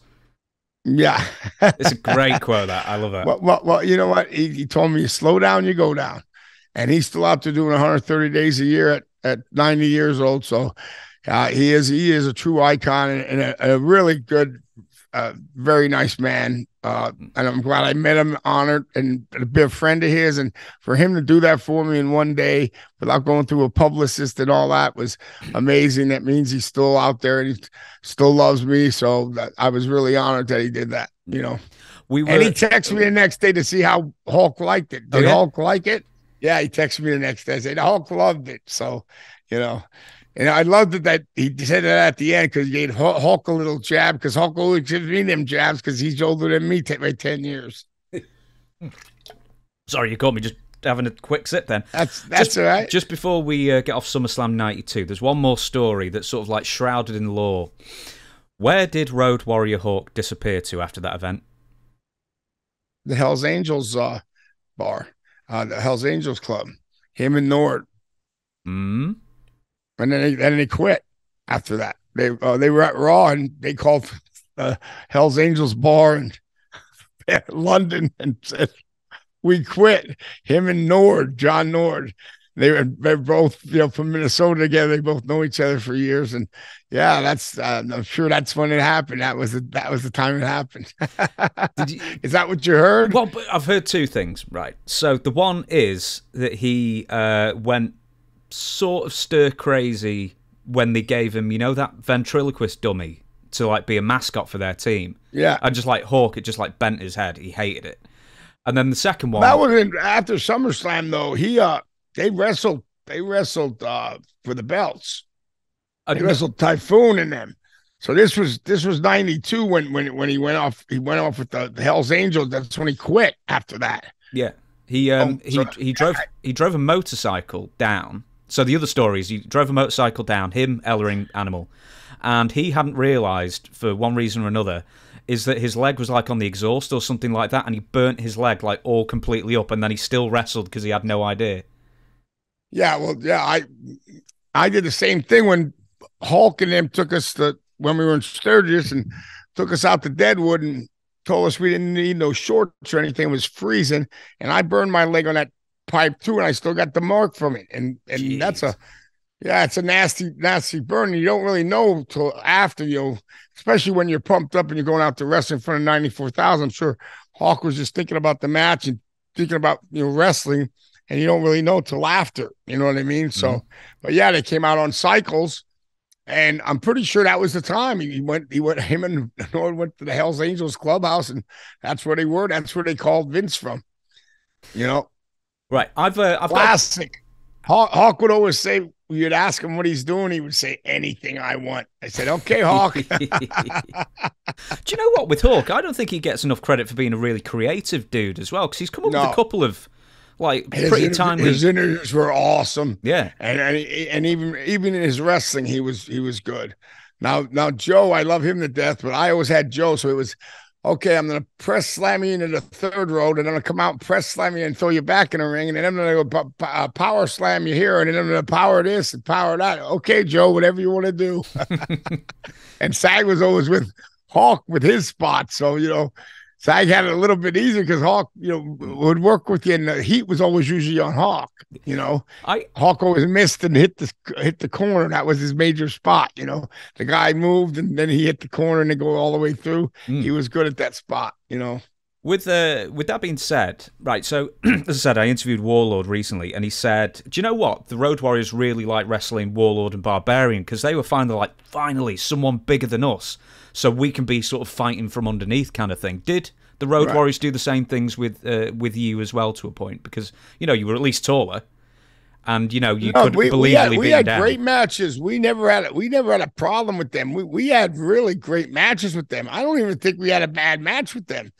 Really, I mean, because we were used to it. We wrestled the Steiners, you know. We, you know, I mean, and and going through the uh, you know, we wrestled Power and Glory at the time, and, and you know, going through some of these teams, you know, we you know we were getting we were getting stiffed a lot, and because we were young, the young guys, but we were used to it. So you know, uh, you know, it, you learn along the way. Like like I said, the British Bulldogs taught us. I mean, how about that? That tag team tournament we were on in '88 had uh, Stan Hansen uh, with uh, uh, Tenryu, and then it had uh, Abby and uh, Tiger Jet Singh. Then it had Terry Gordy and Bill Irwin. Then it had uh, Crawford and uh, uh, his his uh, his partner from Canada. Mm. Um, uh, the can what were they called? I oh, forget. But the, uh, Furnas yeah, they were on. Yeah, yep, yeah, yep, yeah, yeah, Furnas, yeah. yeah, and and they were very good. And I someone just sent me a match of them, and I forgot how you know how good the matches we had with them guys. But that was that was a tour that really you know you know wrestling guys like Terry Gordy and stuff. I mean that that all helped us in the in the long run because we were only in the business at three three years at that time. Mm. We went over to Giant. We went over. That was the only time we worked for uh, Giant Baba. Then the rest of the time we went to Inoki after that. Good payoff, man, Baba.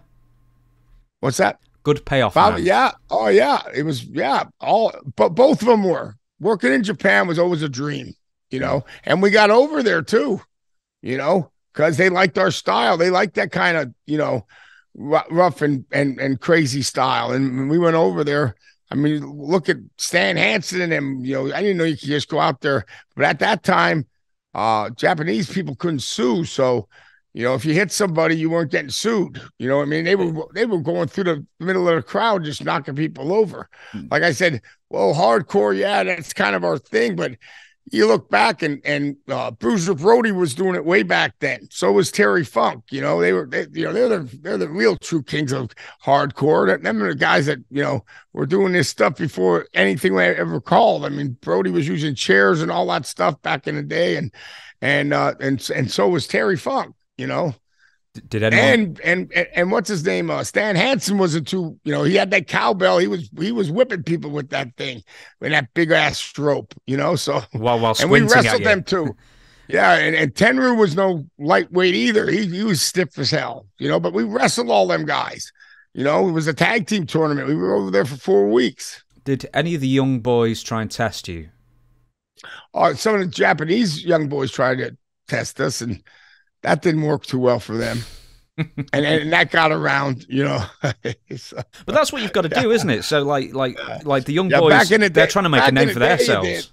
I don't know. I don't know how it is now, but back in the day, you did. You know, we came over there, and you know, you know, you're gonna get, you know, uh, some some kind of different uh, people trying to maybe knock you down or stuff, and you got to be prepared and ready to go. So we were always ready to go for every match there you know, because it was way different than wrestling over here. You know, they don't they didn't even really cheer. You know, they mm. clapped a couple times, and you know, it wasn't like the crowds are over here or over in Europe.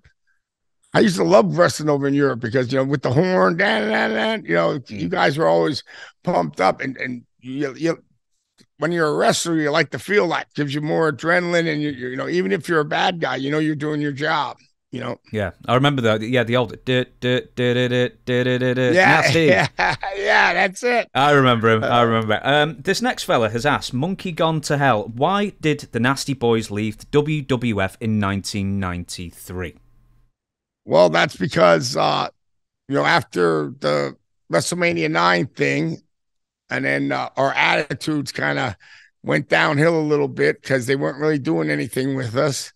So you know, then we had a talk, and uh, you know, we went through a little time there where we had we went back and forth with Vince, and I said, well, you know, we had a meeting at his office, and we said, well, you know, if you want to give us our release, and and you know, we'll, we'll try down, you know, go down to WCW, and uh, you know, uh, he ended up giving us a release. We were the last ones to get our release with our name, and he he left us go, and and we already had Dusty already lined up because Dusty was booking down there, and he wanted to bring us down there. So you know, we went right down there and we won the belts down there. That was the first time we you know won the belts, and then we won it two more times. We won three times. Three we won uh, WCW titles three times, the world titles. But we were supposed to win the WWF ones you know, the second time, and then we got screwed. And then after that, our our attitudes changed a little bit. yeah, maybe it shouldn't have, but you know, at the end when it happened just like that, it kind of pissed us off a little bit. You know. Yeah, because I remember, you, you know, this is more or less when I started watching, and I like between ninety two and ninety three, it seems like pretty much every established name from the eighties and nineties had disappeared completely, and it was uh, with a couple of exceptions, you know, like Bret, Shawn Michaels, Undertaker. But yeah. everyone else just seemed to get wiped out. And, uh, you know, everyone's got their theories. Obviously, you know, the drug testing starts coming in, the steroid testing starts coming in, the federal government's looking at them more closely, that kind of thing. So they have to sort of be squeaky clean. We, didn't, me and Si didn't have to worry about the steroid. Well, uh, well all, that was one of the things I was going to ask. It, it, it, it, was it was all the other shit. they just didn't test for steroids, so you know. But uh, you know, weed you got busted uh then thousand dollars the first time then three thousand and five thousand and the fourth time then you get uh, six weeks off with pay i guess or something like that. Uh i guess that's the way they put it. And then i forgot what they did with the if they did the same with the steroids But we never had to worry about the steroids because we were big guys. We never you know i i actually took them back in i don't know what maybe late 80s and Davey Boy asked me what program I'm on, and I said, "Program." He goes, "Yeah, what what, what are you doing? Working out?" I said, oh, you got to work out with these things. I thought I could just take it and I'd be looking like Hulkster and Ultimate Warrior in about three months. But no, you actually have to work out with them. I said, well, I guess I'm not doing that stuff no more because we were we were one we were with the cover up. We were one we weren't the big get to the gym people. You know, as you as you can very well know. You know. Do you know? Amazingly, Dutch Mantell's told me the same thing. So I do a weekly show with Dutch Mantell, and he said I took steroids briefly when I went to WCW, but no one told me I had to work out with him. I just got fat. Yeah. that was the same with me. I just, I just, I thought I would just get, you know, the I'd be getting pumped up and getting in there. Just but, like, uh, you, you, just dealt with yeah. swelling like, like yeah, right, exactly. But uh, but we we got our we got our workouts in after you know after we knew what we had to do to just stay in shape and that. But uh, yeah, but in the early rounds, you know, it didn't do anything. So yeah, we we, we never that was Nah, steroids. Yeah. We just didn't have to do them. We're, we're both big guys. Sag six four. I'm almost six three, and and we we were always big guys back in the day. You know, so hmm. you know. Uh, also, with you leaving in 1993, uh, I was also told this recently that as soon as the World Bodybuilding Federation started coming in, then everybody's paycheck started getting whittled. Well, that's true. Yeah, that was that was that was a that was a little problem there, you know, because. uh he was taking I he might I don't know if he was taking money from there to pay them, but but our payoffs were getting a little bit, you know, where where they're still we were still selling out, but the the payoffs were getting pretty, you know, kind of lower where it shouldn't have been lower. So who knows? You know, that's all that's all stuff I don't know about. I mm. mean, but that's that's all stuff you hear, just like you heard it. Yeah, we heard the same thing. So we don't know if it was true or not, but you never know. You know, business is business. Yep. Uh, I'm going to I'm going to skip so much. We're actually going to go to like the mid 2000s here. Then we're going to do the final game. And then I will thank you so much for your time. Uh, okay. Uh, Raymond Reynolds Jr. asks: Was Knobbs using a script on Hogan Knows Best, or is he just that crazy in a good way? I'm just that crazy in a good way. There was never no script. They kind of told you like what they were looking for, but then they just like say, "Hey, this is what we're trying to get out of this this show," and then they would just let us roll with it. I mean, we didn't need no script or anything. Mm. And in that time I took my, you know, he got me in that stupid dance when Brooke knows best. We went up for spring break and uh he uh said, you know, hey, I'm gonna put you in that contest with these 20 year old guys that are all ripped up and that I'm I have a big fat gut and you know, I look like crap. And I said, I'm not getting up there and dancing around like that. And then he winked at the producer. You know, he went, he went like, he went, he went. I'm going, ah, what are you, what are you, what are you winking at him for? I said, I'm not, I'm not doing it. No matter what you say, I'm not, I'm not going to. And and he winked at the guy again. I go, I don't know why you're winking at him. And all of a sudden, 17 shots of Patron later, I went up there and did some kind of funky dance. I don't even know what the hell I did. Pulled my drawers down and everything. My mom's seen the damn program. So that didn't get too favorable back home. What are you whipping down your pad for it? but it was one of the funniest ones. I get that all the time. You, you were the funniest guy on the show. I, th- I said, I think they had me on it for the comic relief, but no, it was all that was all me. There was no script. Nobody told me to do that stuff. I was just me being me.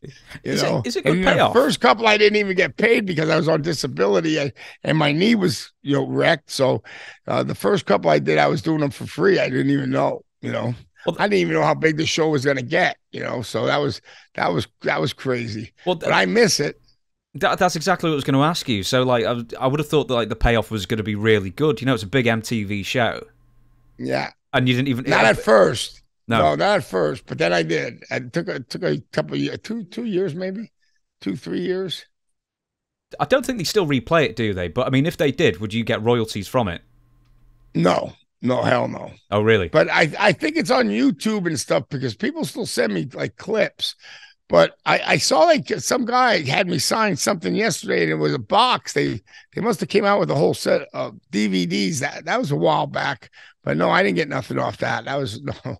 I got paid for what I did, and that was it. You know, but it was good. I had fun. It was always it was always a fun time. Hmm. You know, if you're having fun, why why why quit? You know. Yeah absolutely. Uh, I'm just I, I have to, I can't I am going to skip the story, but I had Val Venis on not too long ago.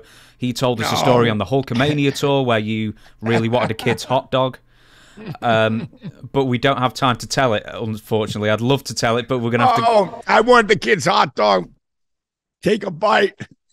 he didn't even know who it was. And the little kid came back with a smart ass answer. He's like, I didn't shove that hot dog up his ass. But they were laughing. Him and Godfather were laughing at me because the kid wouldn't give me a bite of his hot dog. I was starving. I would. One day we're gonna have to get through that. You know, a part two. Uh, that part that, two, that whole that that whole tour though. That was one of the best tours we were ever on because it was run by Rikishi and Hulk and he didn't have Vince or WCW running, so they let us do what we did, and and all the all four four nights it was successful. That all the shows sold out, and mm. it was a great time, and with good friends too. You know, uh, I'm going to. Do you know, just before we get to the final bit, very, very quickly, uh, Ultimate Wrestling Gaming asks, asks, who do you think is the greatest tag team of all time? But I'm going to add on to that if there was a wrestling tag team Mount Rushmore of teams that you faced, who would be the four teams on that? Oh my word! Well, Road Warriors right away. Mm. Um, I put the Steiners up there. God, Harlem Heat. Um, That's right. Geez, I mean, the British Bulldogs. I mean, there's so many. I mean, I can think even back when I before I was wrestling, who I was watching. You know, like uh, Zbyszko and Tony Garea and stuff like that. So, uh, but uh, you know, the guys that we wrestled, I'd have to put you know Hart Foundation, LOD, Steiners, Harlem Heat, Public Enemy, um, British Bulldogs. I mean, can't keep forgetting them. We didn't. The only time we really wrestled them though was in Japan, but it was a, such a you know, four weeks we were with them and we wrestled them a lot. So it was a very uh, uh, learning experience for us, and it taught us a lot. So that meant a lot, you know, and especially from Dynamite Kid and Davey Boy. So, and then like I said, and we also wrestled uh, Davey Boy and Sting, and you know, there's just teams that were put together, but uh, but them are them are about tops right there. You know, you go. Um, uh, LOD and you told Hart Foundation and you know Harlem Heat and Steiners and and Public Enemy and uh, you know and British Bulldogs and you know oh man I'm I'm missing so many but uh, that's about them them are about the the the, the big ones there. But the Road Warriors really changed the game a lot in the wrestling business because they were coming and just smashing people and beating them in two minutes. Mm. And nobody ever did that before. You know what I mean? So they were a different kind of, you know, everybody was, you know, look at them. You know what I mean? So they were the real deal. So Midnight Rockers. I think we got to about 10. Oh, I forgot the Rockers. Oh, no, you got to put the Rockers in there too. oh, yeah, you got to. I mean, really, no, because they they they they help train us and all that. You know, I even forgot about Marty and Shawn. You know what I mean? It it's, it's an uh, unfair uh, question, isn't it? To be perfectly honest. Yeah, yeah. Well, it's it's it's hard for us because we wrestled so many great teams. You, you know, we can't just pick one and say, "Oh, this this is the only one," and that's hard to do. You know what I mean? Because we had great matches with all of them teams. We had great matches with the Midnight Rockers. We had great matches with the Rockers. We had great matches with uh, uh, British Bulldogs. We had great matches with the, the Harlem, uh, the Hart Foundation, the Steiners. We had great uh, matches with the Road Warriors, mm. uh, Harlem Heat. And Harlem Heat was young at the time when we wrestled them. We we helped teach them guys, even Public Enemy. We helped them bring them around, and we had great matches with them. So everybody we got, ever got against, uh, the only ones that me and Sag always said were like a hard team to wrestle were like uh, Typhoon and Earthquake because they were big guys. So we had to work around them because they couldn't do everything. You know, Earthquake could. Earthquake could do a lot. He was really good, but but you know, them are the teams we had to look at different angles of how to how to wrestle so you know, it would be easier, a little bit better because they're you know they're so massive it's hard to do stuff with massacres. You got to work work around them because just like if you work with Andre or someone big like that, you you have to uh, you know think about what their size and what they do, and you know you got to you got to change your style to their style, hmm. and that's what we learned along the way how to change styles. We could wrestle, we could street fight, we could do we could do it all, you know, because we were taught that way. So uh, you know, that's how we became you know where we are today. And you know, thank God, you know, we're both still here and we're both still here to tell stories and and uh, you know, uh catch one of my comedy acts uh because it's called Believe It or Not, you know, Brian Knobbs, famous and broke. And uh, you know, uh, I tell it all there because this way nobody can come back and hit me up because it's a comedy show. Hey, mm. believe it or not, is it real? Is it not? You know, says because you don't want to throw nobody under the bus. There's a lot of people that like to do that, and that's something me and Sagner were born with. We, are from uh, Pennsylvania and we're blue collar guys, and um, you know we're, we're we're there to we're we're a big fraternity of brothers, just wrestling, pro wrestling, and we have to watch each other's back all the time, just like football does, just like baseball does, just like you know any any sporting soccer. You know, there's there's there's a there's a if you're in the league and you're in the league a, a long enough time, you get the respect from from the other from the other uh, you know your players or teammates or whatever and even other it's so funny that other uh sport sports always want to get into wrestling you know football players want to be wrestlers or baseball players they always want everyone wants to get in even the, even the singers you know yeah. you know snoop dogg's in there you know so so wrestling is uh, by far the universal uh sport there is you know so yeah absolutely but it hurts i'm hey I got a cane over here, and that's after uh, almost 40 years of doing this stuff. So uh, you could say it what it is, fake, whatever you want to call it, but it ain't as fake as you think because we all are beat up here, you know. So especially the older time wrestlers that you know went this stuff, the back injuries and the knees, and plus everything else. But uh, all everybody uh, seems to have a good good attitude. You know, when I talk to everybody, everybody seems to be in in a good good good space and uh, not not too many uh, grumpy uh, you know, I know you podcast a lot of people, so you know who's who's nice, and some some guys can be real, you know, jackasses. Oh, dude, but, uh, pretty much everyone's nice. Pretty yeah, much everyone's yeah. easy to deal with. I mean, I can count on one hand, you know, the yeah. the people that, I didn't have a good experience. Me too. With. That's what I say. Yep. Yeah. Same same thing. You know. So I will. Um. In we've got about fifteen minutes or something like that left in the interview. Right. So with our last game. Uh, it's the one I do with everybody. To be honest, I do the other one with everybody as well. It's called Firing Line, and essentially it's just a reversive name association. I'm going to give you right. a person's name, and you, you know, you, if you tell me to move on or whatever, but I'm sure you'll say that everyone's great that I that I give you a name of. And the very first one is Kerry Von Erich. Awesome. Yeah, good, good guy. Um, you know, they put him through a, a, lot when because he did a lot of the uh, with the uh, uh, sick kids and stuff like that, and you know, and he did that a lot, and and you know, you don't never know, you know. I mean, after doing do it for a long time, you never know how it gets to somebody or whatever. But he was such a nice guy. He was a he was a sweetheart. He really was. He was a, he was a really good guy and would always try to go to help you out in the ring if he saw something or, or thought you should, should, do something or stuff stuff like that. But Kerry was Kerry was great. Next one's Bad Company bad company or good guys. Uh, uh, Pat Tanaka's he was our first one that took us in, and we lived. He had us come live at his house in Tennessee, and there was not one piece of furniture in there. It was just empty. It was an empty house. We we slept on the on the carpet floor. I said, "What the hell? You don't even have no furniture in there." Well, I just got the place, so at least put a damn couch or something and. They don't even have a TV. And and Paul Paul was a good guy, but he wasn't with the he wasn't with the gang usually. He usually was off and did his own little thing. I don't know what he did, but you know, he wasn't he wasn't as close as Pat was. Lex Luger. Lex is a good guy. Yeah.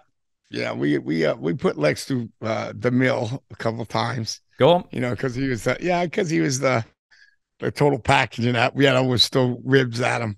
You know, we just saw him not too long ago. Uh, I actually we saw him uh last week. So, but he's doing good. He's doing better now, and uh, uh, but he's he's one of the guys that we grew up with. So he's always going to be one of them uh, close friendship guys. Him and Sting, you know, and the Steiners, and you know the the, the group of guys there in WCW when we first came in.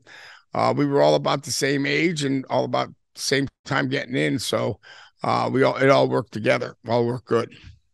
Steve Keirn.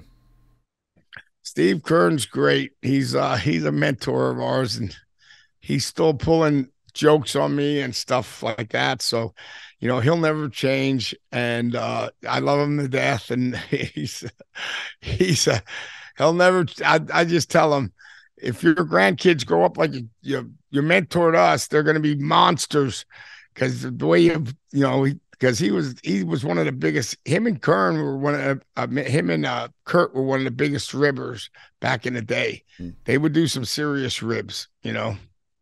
The Sandman.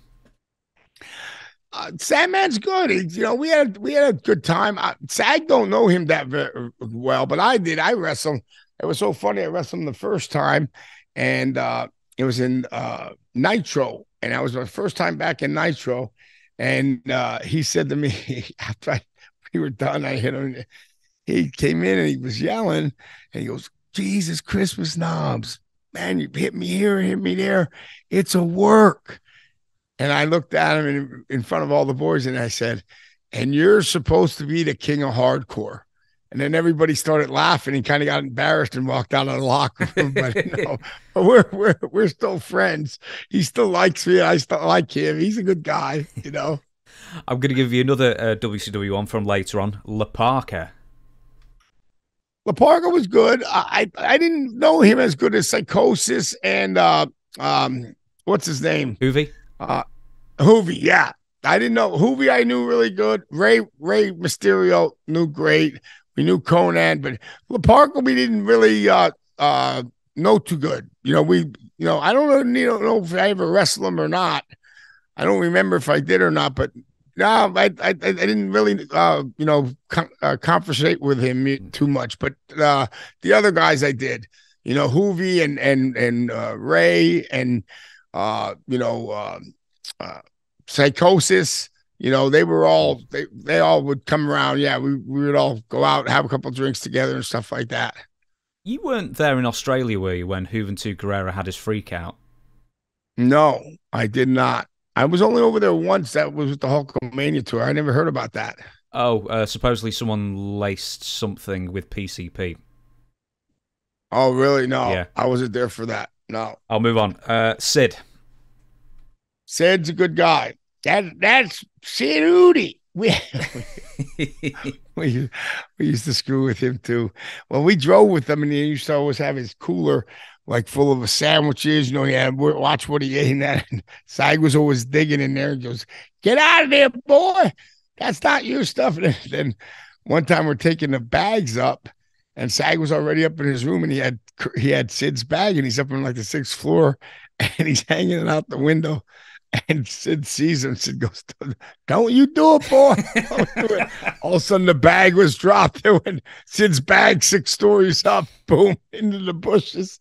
and, and another time, we were driving with him, and uh, and Sag pulled the Sag was on the passenger side. Sid was driving, so he did this thing, this hitchhiker, and he said, "Pull over, Sid." Sag gets out, goes, "Come on, come on." So when the hitchhiker pulls in, he jumps in the car, goes, "Drive, Sid, drive." So Sid drives away. Sid thought this was the funniest thing. So later on, I think the next day we're driving, Sags is driving, and Sid's on the passenger side. Sid goes, Sags, let's do that rib again. Pull on the side and I'll get out. All right. And then we do do the same thing. So Sid gets out and goes, Come on, boy.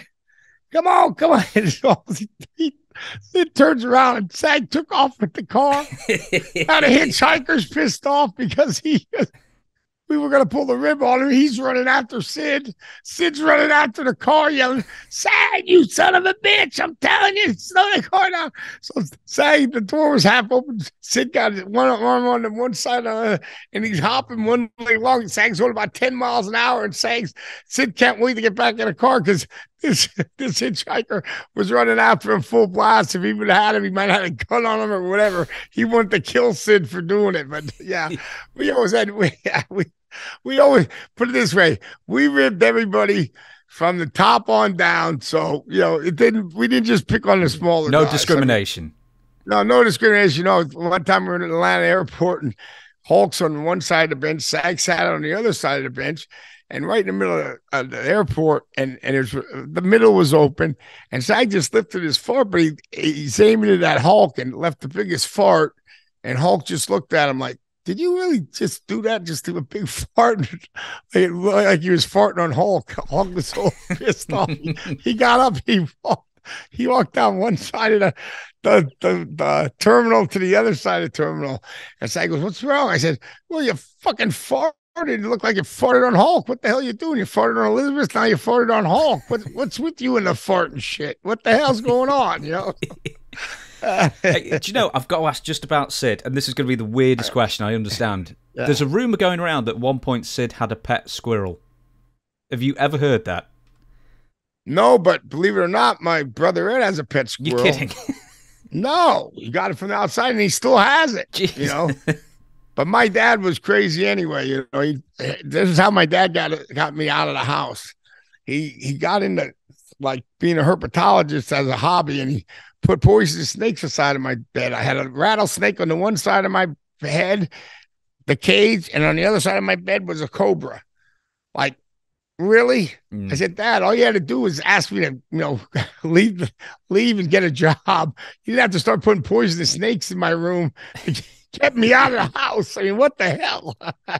oh, my uncle's done the exact same thing. Like many years ago, he had an yeah. entire room dedicated to about 20 tarantulas. It's like if yeah. you don't want me to come oh. round, just you just tell me. yeah. Well, see, that's the only thing I hated when he got the spiders. He got the poisonous spiders, one as big as a dinner plate. That if it bit you, you could die. And I, that's the only that snakes don't bother me at all, but spiders do. And he was got the he had the lizards, then he got the spiders and spiders. Uh, uh that's uh, I'm like you. No, yeah. tarantula. He had tarantulas, but he had other ones that were really poisonous. And I was like, I'm out. That's it. Thanks, Dad. I'm going in the army. yeah, what are you supposed to do? Pet him? Anyway, I'll move on. Uh, we've, I don't know, we've got about five minutes or so left, so we'll speed through uh, as many names as we can. Uh, Paul Orndorff. Great, great guy, great man, good guy. Loved us. Uh, another mentor, another guy that ta- taught us a lot about the business. But yes, thumbs up. Buddy Rose. I know you can't be quick he, with Buddy. He, he, he was great. He was he was great and what an awesome wrestler. I mean, that's not the only thing. It's not just that he was funny on the outside of the ring and the stuff he did, but inside the ring, he knew what he was doing. He knew the psychology. He knew how to wrestle, and he and he taught us a lot too because he was there as the Playboys wrestling the Rockers, you know, the Midnight Rockers at the time when we were there, and we learned a lot off them guys too. You know, but yeah, awesome, awesome guy. Alex Wright. Alex is a good guy.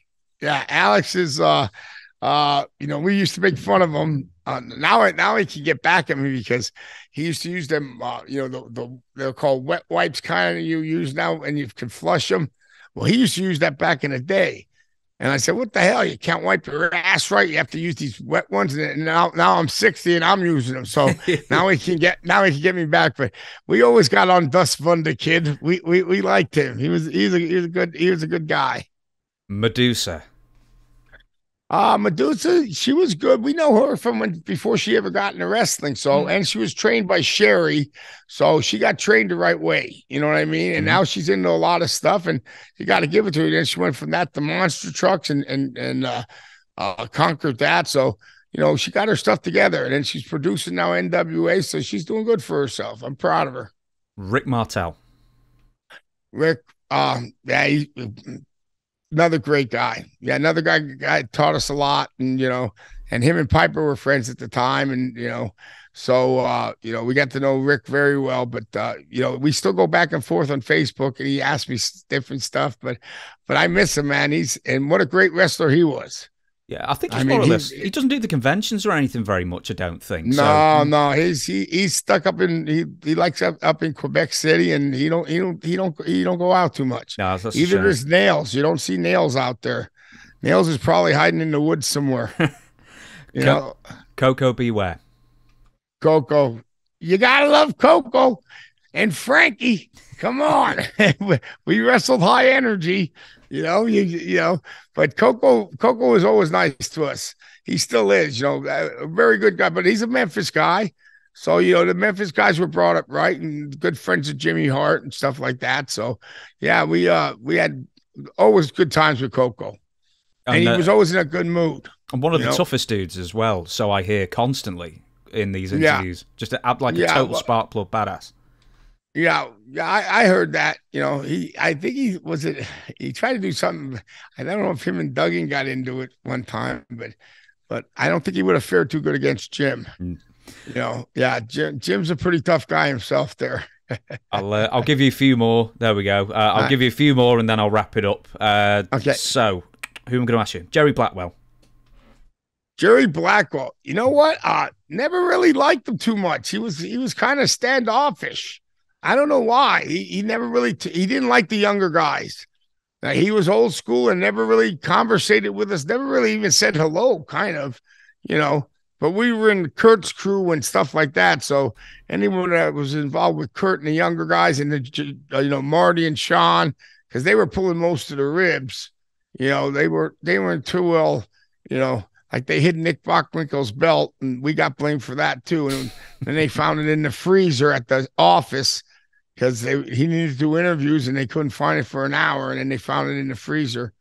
and we got blamed for that one too, but we didn't do it. So I'll, um, I'm going to give you three more. So if Chris yells at you, uh, then that's uh, that's my fault. Uh, uh Jesse Ventura.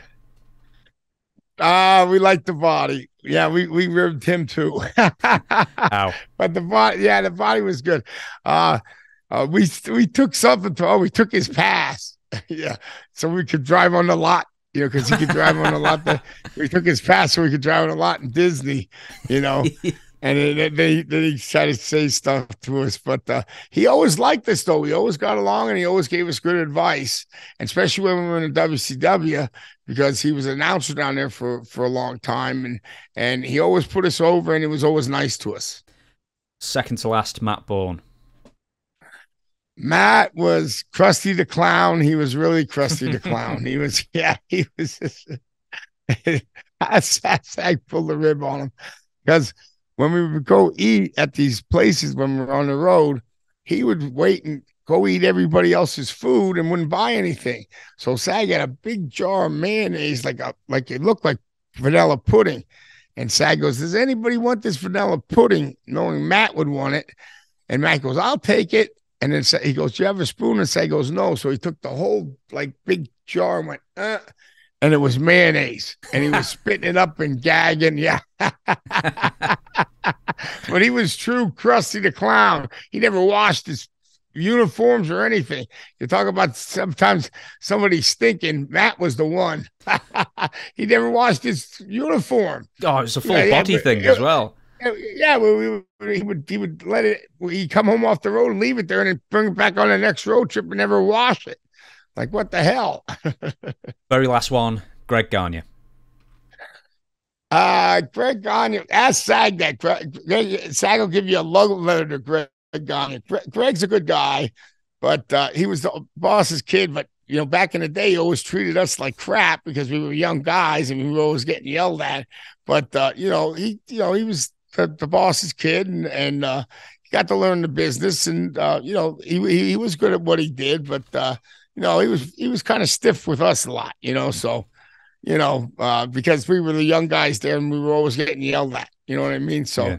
but uh, you could ask Sag about that. He'll put Greg Gagne over big time, and then tell you could tell him, well, uh, your partner said you were going to do that. you know, because yeah, because just... he didn't even thank me. He didn't even thank me at the the first uh, international Hall of Fame because he sat with Greg. All he was doing was talking about Greg. I said, why didn't you just introduce Greg? You didn't even thank me. I thanked you for being my partner for all these years, and I know him for 50 years.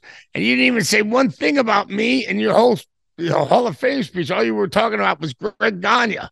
Do you know what? I've just put that on on uh, the other script as well. So Greg Gagne and Nailz is going to be on the other script. Uh, it's been an absolute pleasure having you on.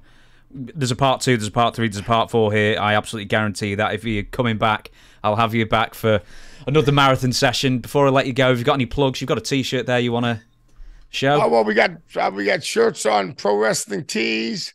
Uh, we're we're going to be doing a, a, bunch of different stuff coming up. They just got to look out.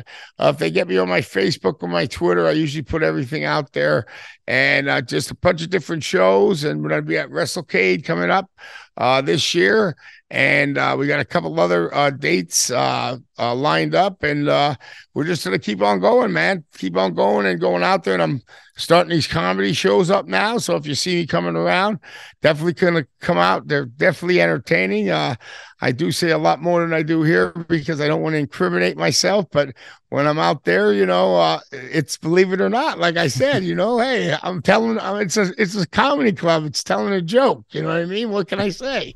But uh, thank you for having me on, and I really appreciate it.